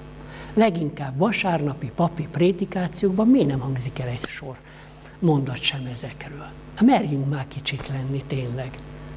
Na most ettől függetlenül, tehát Szent Erzsébet, tehát nagyságrendje, Árpád házon belül, az a Szent Lászlósággal tart egyfajta rokonságot. Majd látjuk is azt, hogy miért, és hát nagyon érdekes ez a kéztartás. Miért érdekes? Mert amennyire egyszerűnek tűnik, annyira ősi. Tehát ez megvan már gyakorlatilag több tízezer éves barlang, őskori barlang szentélyeken. Csak így a kézfej kifelé. Hát én magam jártam, ez jól hangzik, de tényleg így volt. Tehát jártunk a vörös kéz, kicsit indiános a megfogalmazás, Ausztrália egyik legősibb barlang szentélye, úgy több mint 15 ezer éves a hivatalos adatolás szerint. És tulajdonképpen csak kézfejek, vörös és fehér. Tehát ez azt jelenti, hogy teremtői energia, piros, inkább így fogalmaznék, és az, hogy erő van, az kompenzálnia kell egy tisztaságnak. Az milyen lesz? Fehér. Most az árpádoknak mi van az ászlajukon? Milyen színsávok? Piros, tehát életerő. Fehér, tehát tisztaság. Mert ha életerő dúvad vadsággal és agresszivitát, tehát egy lelki tisztaság nem párosul, és ha valaki életről valamit mondani akar teremtésről, akkor ez a legtöbb, amit elmondhat, legegyszerűbb szinten. És mégis hiába van tele a világ ezekkel az ábrázolásokkal, hangsúlyozom, hát leginkább keleti istenszobrok, buddhizmuson, hinduizmuson belül. Mégis hogy nevezzük ezt? pártus kéztartás. Miért? Mert pártus király szobrokon rendre ezt ábrázolják. Tehát ezeknek, a, gondoljuk végig, hát ha egy szent király így tartja a kezét, akkor nem azt jelenti, hogy jó napot kívánok. Hát ennek van valamilyen jelentése. Tehát ezt, hát leginkább micsoda? Valaki indiános filmeket látott gyerekkorában, vagy olvasott. Hogy jelzik azt, hogy nem támadunk, hanem békességgel jövünk? Hát minimum így, miért? Mert a tenyérből nem csak a sarki kéregető tud olvasni. Hát egy, egy csecsemő az anyamé belsejében. Mi az, ami először megjelenik a kis tenyere belsejében? Az életvonal a pár hónapos korában. Hát ezt nagyon komolyan tekintették. És ilyenkor ez azt jelenti, tehát emelt szinten, mert ez képjel Hát megmutatom, hogy ki vagyok. És ráadásul energia, tehát áldást szoktunk így adni. Hát aki szokott, aki teheti, tehát nagyon összetett jelentése van, hihetetlenül összetett jelentése. Nem szöget tartanak egyébként, hát itt kék palásban jelenik meg mind a kettő, és egy piros szárú vékony keresztet tartanak a kezükbe. Csak mondom, ez nagyon rossz ez a felvétel. Nézzük meg viszont, hogy Szent Erzsébet a jobb kezében hogy tartja a keresztet, és nézzük meg, hogy Szent László a jobb kezében alig lehet látni, hogy tartja a keresztet. És számoljuk meg az újakat. Ugyanannyi újakat, újat fogunk látni, csak valamit lehet érzékelni, itt valami probléma van. Hogyan lehet ezt szépen megmutatni? Hát ez stílusos akkor. Tehát az, hogy valaki így fog valamit, a hüvelykúj, az nyilván bejön a tengely mögé. Na most Szent Erzsébetnek bejön. Szent Lászlónak nem jön be. Tehát az ötödik ujja mögött, hogy fogni tudjon, lennie kell egy hatodiknak. Hát ilyen az élet. És hát leginkább felvidéken, de Erdélyben is. Tele van, csak nem számolunk. Apostolok lábúja, hat lábúja van. Apostol kézúj, hat kézúja van. Ló például, bárhol, ember szeme van. Hát ha ember szeme van egy lónak, milyen ló? Táltos ló. Tehát Szent István kiirtotta. Élek a gyanúperre, hogy mostanában kezdik ezeket úgy eltüntetni. Mert ha jön majd egy restaurátor, és látja, hogy hatúj, korrigálni fogja. Hát biztos a nehézkezű mester a középkorban nem tudott számolni. Na, szaladjunk a következő képre. Tehát utazásról volt szó. 2008-ban a Sárosi Zoltán szervezésében. Ez tényleg egy csodálatos utazás volt. Ilyenkor az ember hogy mindig visszasírja, hogy már hol járt, és milyen szép volt, és ismerjük ezeket az álmodozó pillanatokat. Ejzenak. Tehát megérkeztünk Ejzenakban, ez az Ejzenaki Szent György templom, és visszautalnék Attila király korára. És egy kérdést felteszek. Vajon miért van az, tehát most nagyon fontos a kérdés, miért van az, hogy egy nagyhatalmi státuszban lévő magyar király az ő csodálatos kislányát egy senki házi, tehát ebben a nagyságrendben türingiai örgróf fiának adja feleségül. Ha valaki nekem ezt meg tudja magyarázni, hát az már gyakorlatilag mindent meg tud az életből magyarázni. Ugyanis ez nem egy szint. A magyar király második András idejében Magyarország, Dalmácia, Szlavónia, Horvátország, Ráma, ez Bosznia, Szerbia, tehát ez gyakorlatilag a fél Balkánura, ugyanakkor Lodoméria, Halics, hogy érthető legyen ez a Krím félszigettől a Balti tengerig terjedő ö, ö, terület. Aztán negyedik Béla idején, már hogy egy kicsit azért tovább lépjünk, Kunország, 5. Istvántól Bulgária, és még visszaugrunk második András idejére, magyar király Jeruzsálem királya. 5. keresztes hadjárat révén. Aztán használja ezt a címet, nem használja, ez az ő magánügye. Nem szokták használni, Habsburgok szokták használni.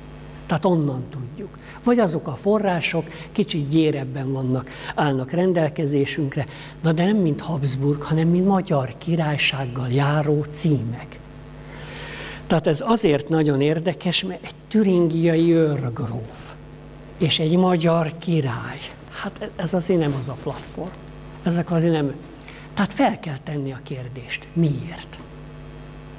És ráadásul kultúra sincs itt. Honnan tudjuk? Majd látjuk, hogy honnan fogjuk, vagy hajlani is fogjuk, hogy honnan tudjuk. Nehogy azt higgyük, hogy itt kitört a e, nyugati demokrácia, és korát meghaladó módon virágzott a, a, a világ. Hát Nemeskürti Istvánt szokta az ember ilyenkor idézni, miért? Mert egyrészt nem lehet nem idézni, másrészt pedig nem lehet azt mondani, hogy félrebeszél, és nem úgy van. Hát ő is leírja azt, amit mindenki tud, hogy például ezek a nagyon hangulatos, középkori kis városkák, ezzel a sikátori ö, ö, utcarendszerrel, hogy ezeknek mi volt a titkuk.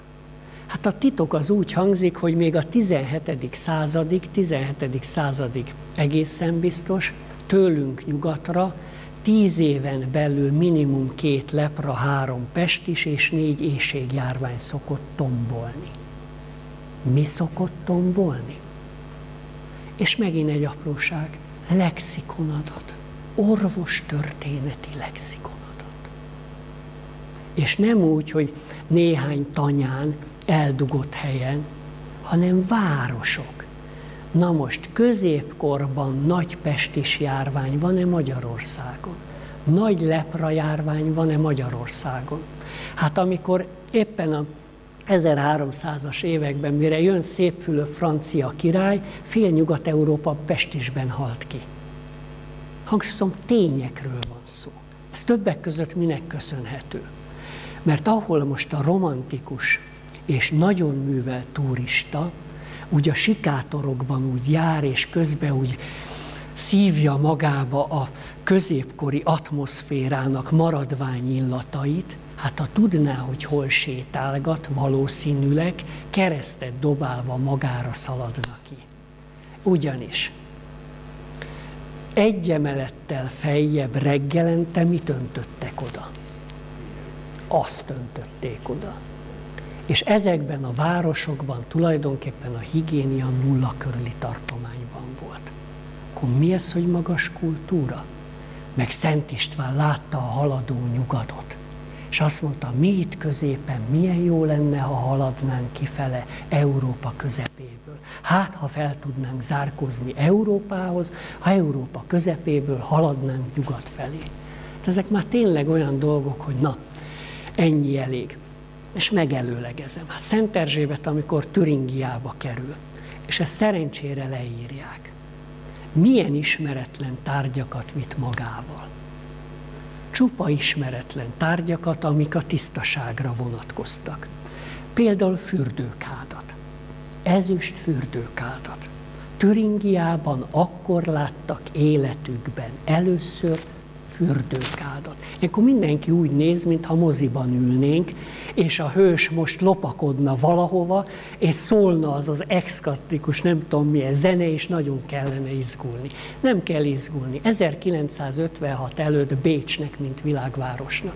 Milyen volt a fürdőszoba hálózata? Nulla körüli tartományba. Kik vitték oda ezt az intézményrendszert? Az 56-os emigráció tagjai. Mikor? 56 előtt nézzük meg, ilyenkor senkinek nincs ismerőse Bécsben. Hát nem csak a Mária Hilferstrasszén kellett, hogy úgy mondjam, nejlonzacskóval sétálni és bevásárolni. Hát ez az észveszejtő. Tehát hangsúlyozom, hogy érthető legyen. A sors nem szereti a tartósított hülyeséget. Tényleg nem, nem tud vele mit kezdeni. És főleg azt nem szereti, ha valaki, ezek mi maguk, magunk vagyunk. Naponta mondogatjuk magunknak. Azt a múltat, ami nem is úgy volt. Azokat a dolgokat, amikből egy hang nem igaz. Tehát ne csodálkozzunk, hogy nem szeretnek bennünket a népek. Miért szeressenek? Hát szagról lehet érezni a zavart. Hát képzeljük, kimegy Párizsba egy magyar, ahol hogy fogadják őt. Te hun vagy, és Attila az ősöd volt. Mit mond? Dehogy vagyok hun. Magyar vagyok, és Attila nem volt az ősöm. Mi finnugorok vagyunk. Na most gondoljuk végig. Hát egy francia nem fogja azt gondolni, hogy ezek felvilágosodtak. Ezek elhűltek. Elhűltek, szó szerint. Hát ez a tragédia, mi hiába mondjuk magunkról azt, amit belénk neveltek, a nagy nem igazságot. Hát a világ még valamit tud rólunk. És képzeljük el, amikor szembesülünk, amikor kimennek tudósaink, művészeink, mert mindenhol van baráti beszélgetés. Á, mi nem, nem, tévedés. Hát az 1500 évig terjeszgették, de mi már azóta tudjuk. És erre mit mondanak? Na, ezekkel nagy probléma van. Ezek, ezeket jobb kerülni. Hát ez azt jelenti, megtagadta a múltját. Hát ő nem azt fogja érzékelni, hogy minket így idomítottak. Hát azt mondja, hát ezen mi történt? Hát ilyen azért a világ csodája. Megtagadják saját magukat. Na most Eisenakban Attila, és nem lehet bizonyítani, de hát valószínűleg itt a templom helyén volt egy régebbi templom. Tehát Eisenakban a katalóni ütközet után Attila, most az ember megáll. Hol? Hát nézzük meg, hova lokalizálják a katalóni csatát. Hát van, amelyik gyakorlatilag a Pireneusoktól délre esik, Katalónia irányába. Ezerféle változat van. De hát akkor is gyakorlatilag a mai Franciaország területe. Hát végig vissza ők a Duna folyása mentén be a Kárpát-medencébe felmegy a mai Németország szívébe, központjába, mert ha térképre ránézünk, Eisenach kellős közepén van. Tehát ennél középebb középpontja nincsen a mai Németországnak. És itt kihirdeti, hogy ő a világ ura. Tehát Attila hol hirdeti ki az egyetemes világkirályságra vonatkozó, hogy úgy mondjam, megcáfolhatatlan tételt. És Attilának a birodalma mivel belső Ázsiában is mutatnak folyókat, hogy Attillát ott temették el, mivel a Szajnára is azt mondják, hogy Attillát ott temették el, mire a Pót is arra mondják, hogy Attila a Pómedrében nyugszik, hát Rajna mentén mit mondanak a helybéliek? Hát Attila ott lett eltemetve. Most a Kárpát-medencében, hát jól csinálja, megmondom őszintén, mert itt aztán tényleg Marostól kezdve Duna, Tisza, Dráva, Száva, minden folyó szóba jön. Ez nem azt jelenti, hogy ennyi helyen nem lehet. Ekkora a hatása. Tehát végeredményben Attila földtörténeti, kozmosztörténeti, üdvtörténeti személyiség volt. És ki hirdeti a hatalom csúcsán, ez még a világi hatalom, ki hirdeti, hogy ő az egész világ ura. Hol? Itt. Hova küldi a lányát második András? Ide. És második András Attila király nemzetségéből származott. Ez az egyik. Tehát üdvtörténeti jelenség. A másik, amit mi nem kerestünk fel olyan múzeumot, de barátaink jártak helytörténeti múzeumokba. Valaki elmegy Morvaország, vagy Csehország, Morva részére, albumok jelentek meg. Milyen régészeti emlékanyaggal dicsekedhet gyakorlatilag a Dunavölgy, végig messze a Melki apátságon túl, és gyakorlatilag a Morva medence. Hát ezt nevezik avarkori régészeti leletanyagnak. És tel is tele van Türingia ezzel az emlékanyaggal. Tehát ezek régészeti tények. Tehát hangsúlyozom, amit mi lovas nomád kultúra tárgyi emlékanyagának tulajdonítunk, kiderül, nem áll meg a Kárpát-medence határain. És ott, oda is jut egy jó nagy darab. És van egy nagyon érdekes tétel, a Turing név honnan származik. Van egy elképzelés, csak pártolni lehet. Én azt mondom, hogy Tirrén nép, Tirrén. Így, hogy Tirrén. Tirrén tenger. Ötödik osztályos földrajzi tananyag. Hát hol van a Tirrén tenger? Hát így jön az itáliai félsziget, és hát a földközi tengernek vannak tájegységei. Tirrén tenger. Hát az egy népről lett elnevezve. Volt Tirrén nép? Igen, Etrusznak hívták. Tehát az Etruszk és a Tirrén és Türing. Türingiai. És bármennyire hihetetlen, az etruszkok történetébe is belefoglalják, van egy drámai időszak, átmennek az Alpokon, észak irányba, hova, hát ki lehet találni, és megint ott a régészeti leletanyag. Tehát a második András a lányát nem hétköznapi meggondolásokból, hanem világtörténelmi, sorstörténelmi, itt a nyugat-európai emberiség életében, nem a tudatosság szintjén, valószínűleg nem a tudatosság szintjén, de az emberségnek van egy olyan rétege, amit ekkor már ők sem ismernek, de elő lehet hívni, meg lehet őket menekíteni. Menjünk be a templomba, és hát lehetne a példákat sorolni, és akkor most pörgetni fogjuk. Hát ez az oltár szemből, menjünk a következő képre. Na most beléptünk a templomba, tényleg ilyen homályos volt a templom, borongós idő is volt talán, és e, menjünk még vissza. Hát ez, a, ez valószínűleg nem lehet tudni, lehet, hogy egy kőkoporsónak vagy egy síremléknek volt a felső lapja, amit így felállítottak. Aztán lényeg az, hogy próbáljuk meg a feliratot a gyertyánál, mert ott van egy gyertya, megtalálni. Igen, ott van, 1301, nem tudom, hogy látjuk-e. Na most ez a dátum így, hogy 1301, ezt nem 1301-be vésték bele, azt is lehet tudni. De valaki valamikor belevéste, hogy 1301. Nagyon jól, nagyon ügyesen, tehát értett a kalapácshoz, értett a vésőhöz. Az egész templom, most egy kicsit lejjebb menjünk a gyertyához, az egész templom üresen állt. Tehát ahogy bementünk, egy kép fogadott bennünket, égett egy gyertya. Jézus keresztrefeszítési domborműve előtt, és a dátum 1301. Mi történt a magyar történelemben 1301-ben? Hát a Turul nemzetség férfiágon kihal. A világ történelemben új fejezet kezdődik. Csak ezt kevesen fogják fel mind a mai napig. Na most ezek azok az érdekes tételek, hogy én is tudom, mindenki tudja, na de egy ilyen jelenséggel szembesülni. Tehát nem azt mondja az ember, hogy ezek pontosan ezeket a dolgokat tudták, de az, hogy megérkeztünk, és minthogyha valaki egy láthatatlan világból fogadott volna minket, és a gyertyát oda tette le, hogy érzékeljük, hogy fogadtak minket.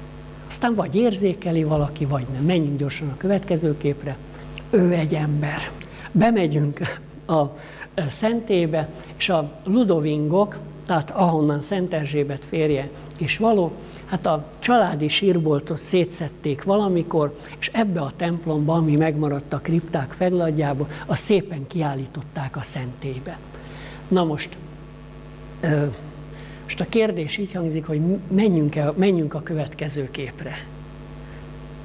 Most a kérdés így hangzik, mentünk a következő képre, vagy nem mentünk? Menjünk vissza egyel. Jó.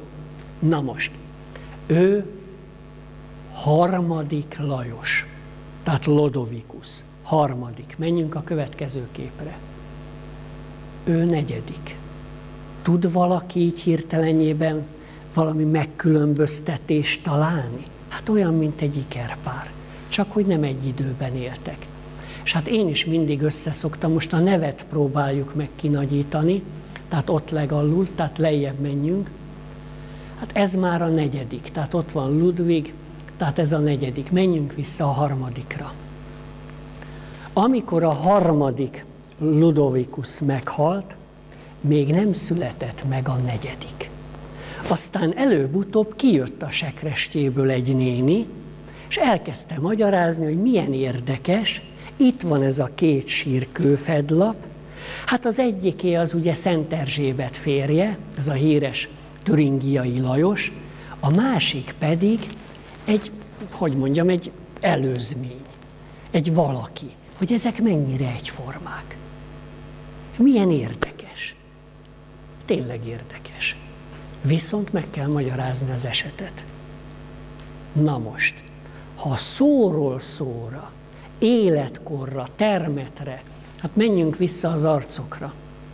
Arc, a hajhosszúság, és leginkább hát nyilván az arc fog beszélni dolgokról, ezek tényleg jó arcuk. Ez a kettő ember gyakorlatilag, hát itt olyan arcok vannak, hogy az ember átmenne az utca túlsó oldalára. Tehát ez a Hermann Örgróf, ez a Ludovingo, iszonyatos. És egyszerre két tündér királyfi így megjelenik. Na most, ha az egyik meghalt, és rá pár évtizedre születik egy ugyanolyan, de ugyanolyan. Ezt hogy nevezi a hagyomány? Vagy elfogadjuk, vagy nem, engem nem érdekel. Reinkarnáció. Világos? Na most ez a következő tétel. Tehát valószínűleg ez az ember, akihez adta, hogy úgy mondjam, feleségnek a lányát második András, erről lehetett tudni, hogy nem hétköznapi ember. Tehát valamit egyszer megpróbált az életben, akkor utoléri őt a végzet, és van még egy. Mi? Mert Szent Erzsébettel kell találkoznia. Tehát hangsúlyozom, ha ez egy időben egy ikerpár, azt meg lehet magyarázni. De ugyanakkor az, hogy az egyik az egyik évszázadban, a másik a másikban, na erre nincs semmiféle magyarázat. Tehát exakt, családját örö, nem öröklődött. Miért? Mert közben ott vannak a családtagok, olyan ronda arcok, hangsúlyozom, hogy ez valami, ezek meg így ki. Tehát itt valami történt ám. És tudni kell, hogy szerelmi házasság volt. Tehát kiskoruk óta együtt vannak, de nem megutálták egymást, hanem egymásba szerelmesedtek.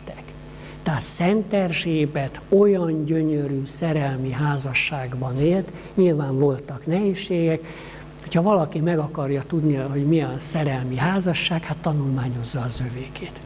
És ez a türingiai Lajos méltó párja társa volt, semmiben nem akadályozta, hátráltatta Szent Erzsébetet. Menjünk a következő képre. Hát ez a Warburgi fellegvárból kifelé tekintve felmentünk Warburgba, menjünk a következő, tehát lent Eisenach. Itt lehet látni, hogy ami ma a, a palota vagy a várkastély, hát ez egy töredéke a régi várrendszernek, ez a másik, Hepil is be lehet ilyeneket látni. Hát itt azt mondja, hogy itt van egy várhegy, igen ám, de hát azért ne szórakozzunk már, hogyha ott vannak a várfal maradványok. Hát nyilván ez egy várrendszer volt, amiből turistáknak megmaradt egy kis várkastély. Hát Visegrád esete a legjobb példa, Esztergom esete, Esztergom. Hát ha valaki nekem be tudja adni, pedig nagyon adagolják, hogy az Esztergomi vár csak ez volt, itt mellettünk ez a domb, az menjen vissza a török időbe és harcoljon.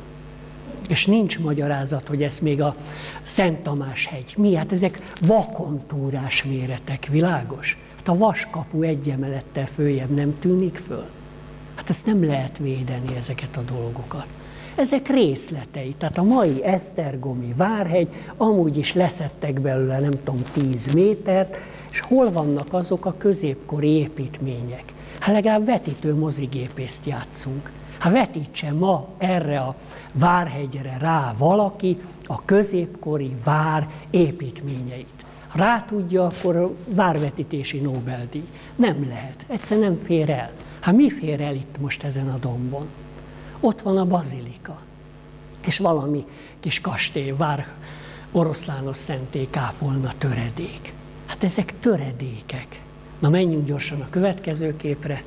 És hát még egy, hát a Visegrádi fellegvár és a nagy villám. Hát most gondoljunk egy várostromra. Ha felmegyek a nagy villámra, és csúzlival elkezdem lő. Magyarul a nagy villámon is várrendszernek kellett lenni. Hát látszik, hogy, hogy ilyenkor derül ki, állandóan azt erőltetjük, hogy racionálisan gondolkodni. Bár egyszer megtennénk. Bár egyszer megtennénk. Lehet, hogy nem itt járna az ország. Hát ez meg olyan, mint egy hatalmas nagy hajó. Na menjünk a következő képre, most jövünk be a várkapun, szaladjunk a következő képre. Hát ez a, ott van a várpalota, vagy a palota, balra menjünk a következő képre. Hát ezek ilyen életképi jelenetek, szaladjunk tovább, mert nagyon kell szaladni. Így képzelik el, hogy milyen lehetett Szent Erzsébet korában a kert, nem ilyen volt. Menjünk a következő képre. És akkor egyszer csak faragványok, oszlopfők, és hát ilyenkor megint érdekes. Honnan? Hasonlítsuk össze kortárs Árpádkori oszlopfő maradványokkal, nem fogjuk elhinni. Szent Erzsébet kora tájára teszik a faragványok készülését. Tehát nem helyi remekmű, hanem valahonnan oda került. Szaladjunk a következő képekre. Hát azért ott lehet látni, sok mindent lehet látni, de azt a sast például, most ne is a fejet nézzük, ezt nagyon nézzük meg. Mert ez állatküzdelmi jelenet. Tehát sas sárkány kígyóval viaskodik, és ahelyett, hogy a kígyót akarná szétszedni, menjünk tovább a következő képekre, hát ha vissza fog térni, igen, lehet látni. Hát nézzük meg, hogy a sas, vagy ez a ragadozó madár tulajdonképpen ebben a küzdelemben melyik részét keresi. A saját begyét keresi. Honnan ismerős ez a képjel? Hát az önsebző pelikán. Tehát ott van a halálos ellensége, kígyóként tekered a karmai között, és saját lelkét fogja nyilván a következő pillanatban megnyitni. Tehát en, ez, ez lehet tudni, ez nem germán világ. Ez a gondolatkör viszont egyenesen megy vissza a szkita művészetbe. Menjünk a következő képre, és hát na itt lehet nagyon jól látni. Tehát most látjuk. Tehát a nyak, ahogy ívelődik, és a csör bizony, mint a önsebző pelikán, aki vérével táplálja a kicsinyeit, és hát hány képjele van festetményezett kazettás templomokon. Elmegyünk Tihanyba, Tihanyba, mai barok templomba, ott van az önvérével fiait, gyermekeit, csak hogy nem csak a fiait és gyermekeit. Miért? Mert mindig bekúszik a kígyó is mindig bekúszik valaki más is. Hát ez milyen önfeláldozás? Maga Jézus mondja, mert rávezetik vissza ezt a képjelet. Hát az, hogy azt szereti valaki, aki őt viszont szereti. Ez nagyon jó és nagyon fontos. De az igazi önfeláldozó szeretet, amikor az el, hát Jézus kiért áldozza fel az életét? Az ellenségeiért is. Tehát bizony tudni kell, ez egy erkölcs. És ennek az erkölcsnek a központja az akkori Európában, Magyarországon. Hát igen, ezek meg ismer bezdédi tarsolylemez. Hát ez, ez lehet látni. Hát ez a úgynevezett szkíta összetett. Szkíta művészeten belül az összetett állatoknak a világa, hogy több tulajdonságból íródik össze egy csodalény, egy griffszerű vagy sárkányszerű lény. Na szaladjunk tovább. És hát mindegyiknek pörgessük, nem akarok itt leragadni. Most ha a szárnyába kap bele, akkor az megint magyarázható. Ezt a termet tulajdonítják Szent Erzsébet termének, hogy itt lakott volna. Örömmel jelentem, nem itt lakott. Tehát nem ez volt az ő szobája. Hát szobájából leírják a kortársak eleve kelet, tehát úgy szerettek lakni, hogy napfényes kelet felé néző szobákban. És ő mindig könybelábat szemmel nézett Magyarország felé. Na most, innen nem lehet Magyarország felé nézni, mert nincs ablak. Tehát valószínűleg ez egy nagyon jó konyha építmény lehetett, ahol lejöttek a palota elmeleteiről, és kicsit itt beszélgettek, vagy valami nappali rész, de átmeneti terület. Viszont ami érdekes, és hát nálunk is van, menjünk át Esztergomba, Szent István szobája ott született. Tehát, tehát ilyen dolgok, hát a Esztergomi várba, hát gondolom ismerjük ezt a jelenséget, nem ott született. Istenem, mit ad Isten, ezt mindenki tudja. De valaki egyszer rámondta, kegyes hagyomány rábólintott, én sem fogok tiltakozni, csak hát tudni kell, hogy ezek olyanok, hogy éppen nem ez a lényeg. De az ember valami konkrétumot nagyon szeretne. Na ezzel élnek vissza. Konkrétum kell neked? Hát majd adok én neked. És akkor majd megkapjátok a konkrétumot. Na most, viszont mozaik képekkel van tele, vagy száz évvel ezelőtt egy Szent Erzsébet évfordulóra készítették, és Szent Erzsébet egyébként gyönyörű, és sehol nem lehet érzékelni azt, amit Magyarországon magas művészet szintjén állandóan ironizálnak, dehonestálnak, tekintélyrombolnak. Nézzük meg a köztéri szobraink túlnyomó többségét. Katasztrófa. Csak azért, mert ott egy piros-fehér-zöld gaz, szalag, és mondjuk egy Árpád vezér felirat fölött pedig áll egy torszülött. És akkor mi már tapsolunk. Hát ha egy nép belemegy ilyenekbe, hogy tulajdon hősei, ott van a Szent László Herma, ott van Rákóczi arc, Nézzük már meg ezeket a festményeket és szobrokat. És valakik nagyon röhögnek. Hát le lehet cserélni a világot ezeknek, mert emberismeretük az a nulla. Hát ha valaki művészt megkérdeznénk, hogy te a nagyapádról, bátyádról, rokonodról készítenél ilyen szobrot? Nem. Akkor Szent Istvánról vagy Szent Lászlóról miért csináltál? Csak megrendelték. Klinzor. Na most ki volt Klinzor? Itt egy nagyon kedves nőszemély Magnóval a kezében, ő nem tudott magyarul, és ha magyar csoport jön, akkor itt mindig van magyar szolgálat, és ha éppen nincsen magyar szakos szolgálattevő, akkor van Magnó kazetta. Beteszik a szöveget, magyarul mondják, hogy éppen mi van, és az illető pedig mutogat. Most ez olyan nagy jelenet volt, hogy akárhányszor arra gondolok mindig, mert az a lelkesség az, az a átütő igyekezet, hogy így tartja a magnót, és közben mutogat. Na most Klinzor a világhírű magyar költő. Egy. Általában nem is tudnak Klinzorról, mert miért kell tudni. A Klinzor az egy eltorzított név, tehát német nyelvterületen, ahogy eltorzítanak, egy urat, mert német nevek nem nagyon szoktak orra végződni, tehát ez az orr, ez valamilyen úrnak a valamije, és akkor van egy KLNS, tehát kellenestől kezdve ez bármi lehetett valamikor. Tehát van egy magyar nevű ember, akinek a nevét eltorzítják. Tehát a saját ejtésük szerint. És Klinzor a kornak legnagyobb mágusa, tudósa, költője, a legnagyobb szellemi tekintélye és hatalma. És így kezdődik a szöveg. A világhírű magyar költő. Elővesszük a magyar műveket, akár történelmi, irodalomtörténeti szinte semmi, ilyen szövegek. A száz származású, a száz klinzor. Most van egy probléma, mert ez már aztán százföld is, a töringiaik bukása után. Maguk a szászok, tehát figyelem, ébresztő. Tehát tudom, hogy nehéz megérteni, na nem itt, hanem valahol irodalom történészeknél és történészeknél. Tehát maguk a szászok, maguk a németek a középkorban, középkor után tegnap és holnap magyarnak tartják és világhírű magyar költőnek. Csak hogy ez már magas kultúra, ami nekünk nem lehet. Tehát A száz. A száz. Na most ezek a betegségek és ezek az óriási nagy bajok. És ez, ebből nem lehet kilábolni, mert mi egymás között jól el vagyunk, de olyan dömpingben kapjuk a hazugságokat, hogy mire az egyik elől elhajolunk, már jön a következő. Előbb-utóbb egyébként meg fog nyilvánvaló módon szűnni. Sok mindent el lehet mondani, de egy dolgot tudni kell, hogy kerül ide Klinzor mágus. Ő a mágus. Hát úgy kerül ide, hogy Hermann Örgróf Türingiában Warburgi Mester Dalnokok konferenciát hívja össze, tananyag. Wagnertől kezdve érdekes módon a nyugat-európai művelődés történet mind nyugszik, a mesterdalnokok. Tannhausertől kezdve végig lehetne a Wagner műveket sorolni.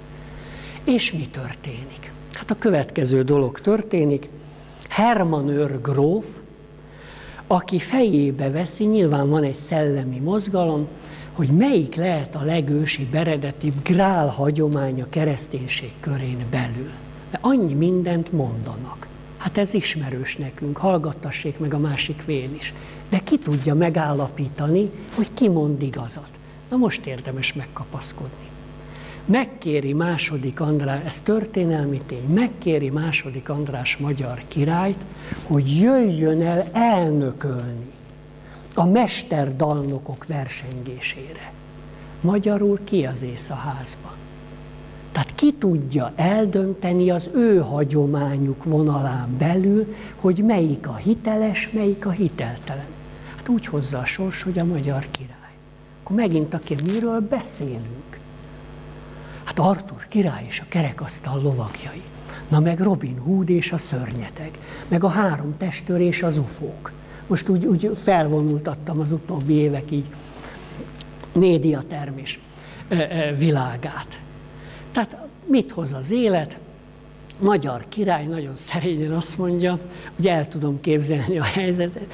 Jó, hát te sem gondolt komolyan, hát el, elfoglaltságaira hivatkozik. Nem beszéltem meg vele, nem tudom mire hivatkozott, de ő maga nem ment, hanem egy megbízható tudós embert küldött maga helyett. Ki ő?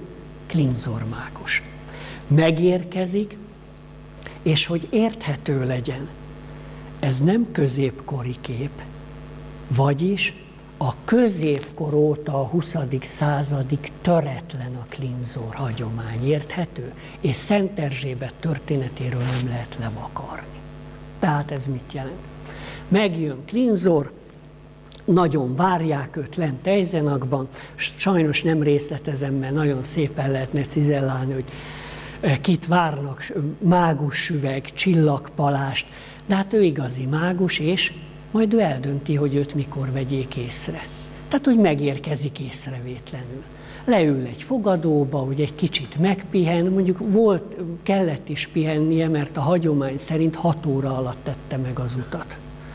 Magyarországról. Nézzünk rá a térképre.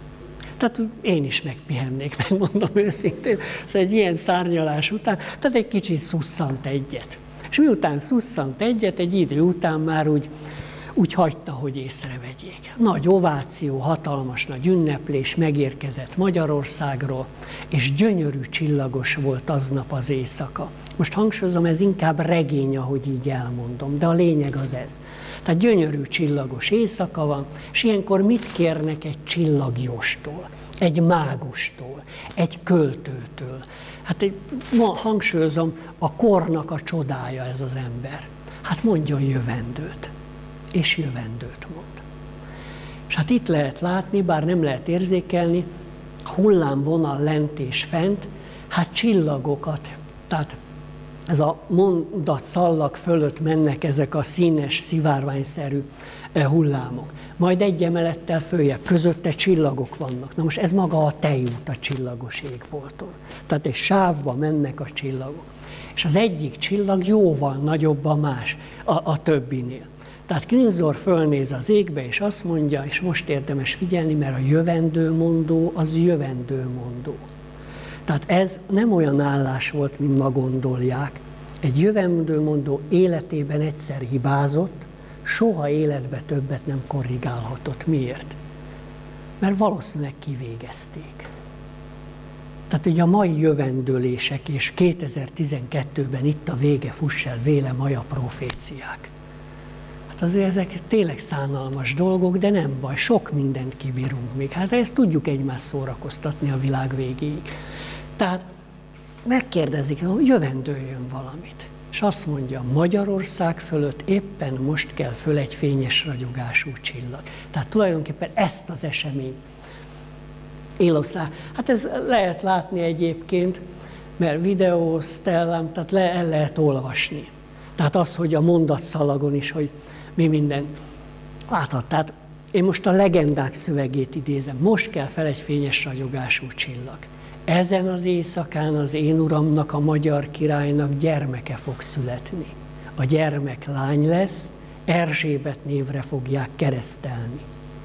Ez az Erzsébet egyszer majd a ti uratok fiának felesége lesz. És ennek az Erzsébetnek, mivel hatalmas szentséget fog erre a földre lehozni, hát a föld népei. És emlékezzünk, hogyan kezdtünk, mert én itt fogom berekeszteni, és majd innen második alkalommal folytatni.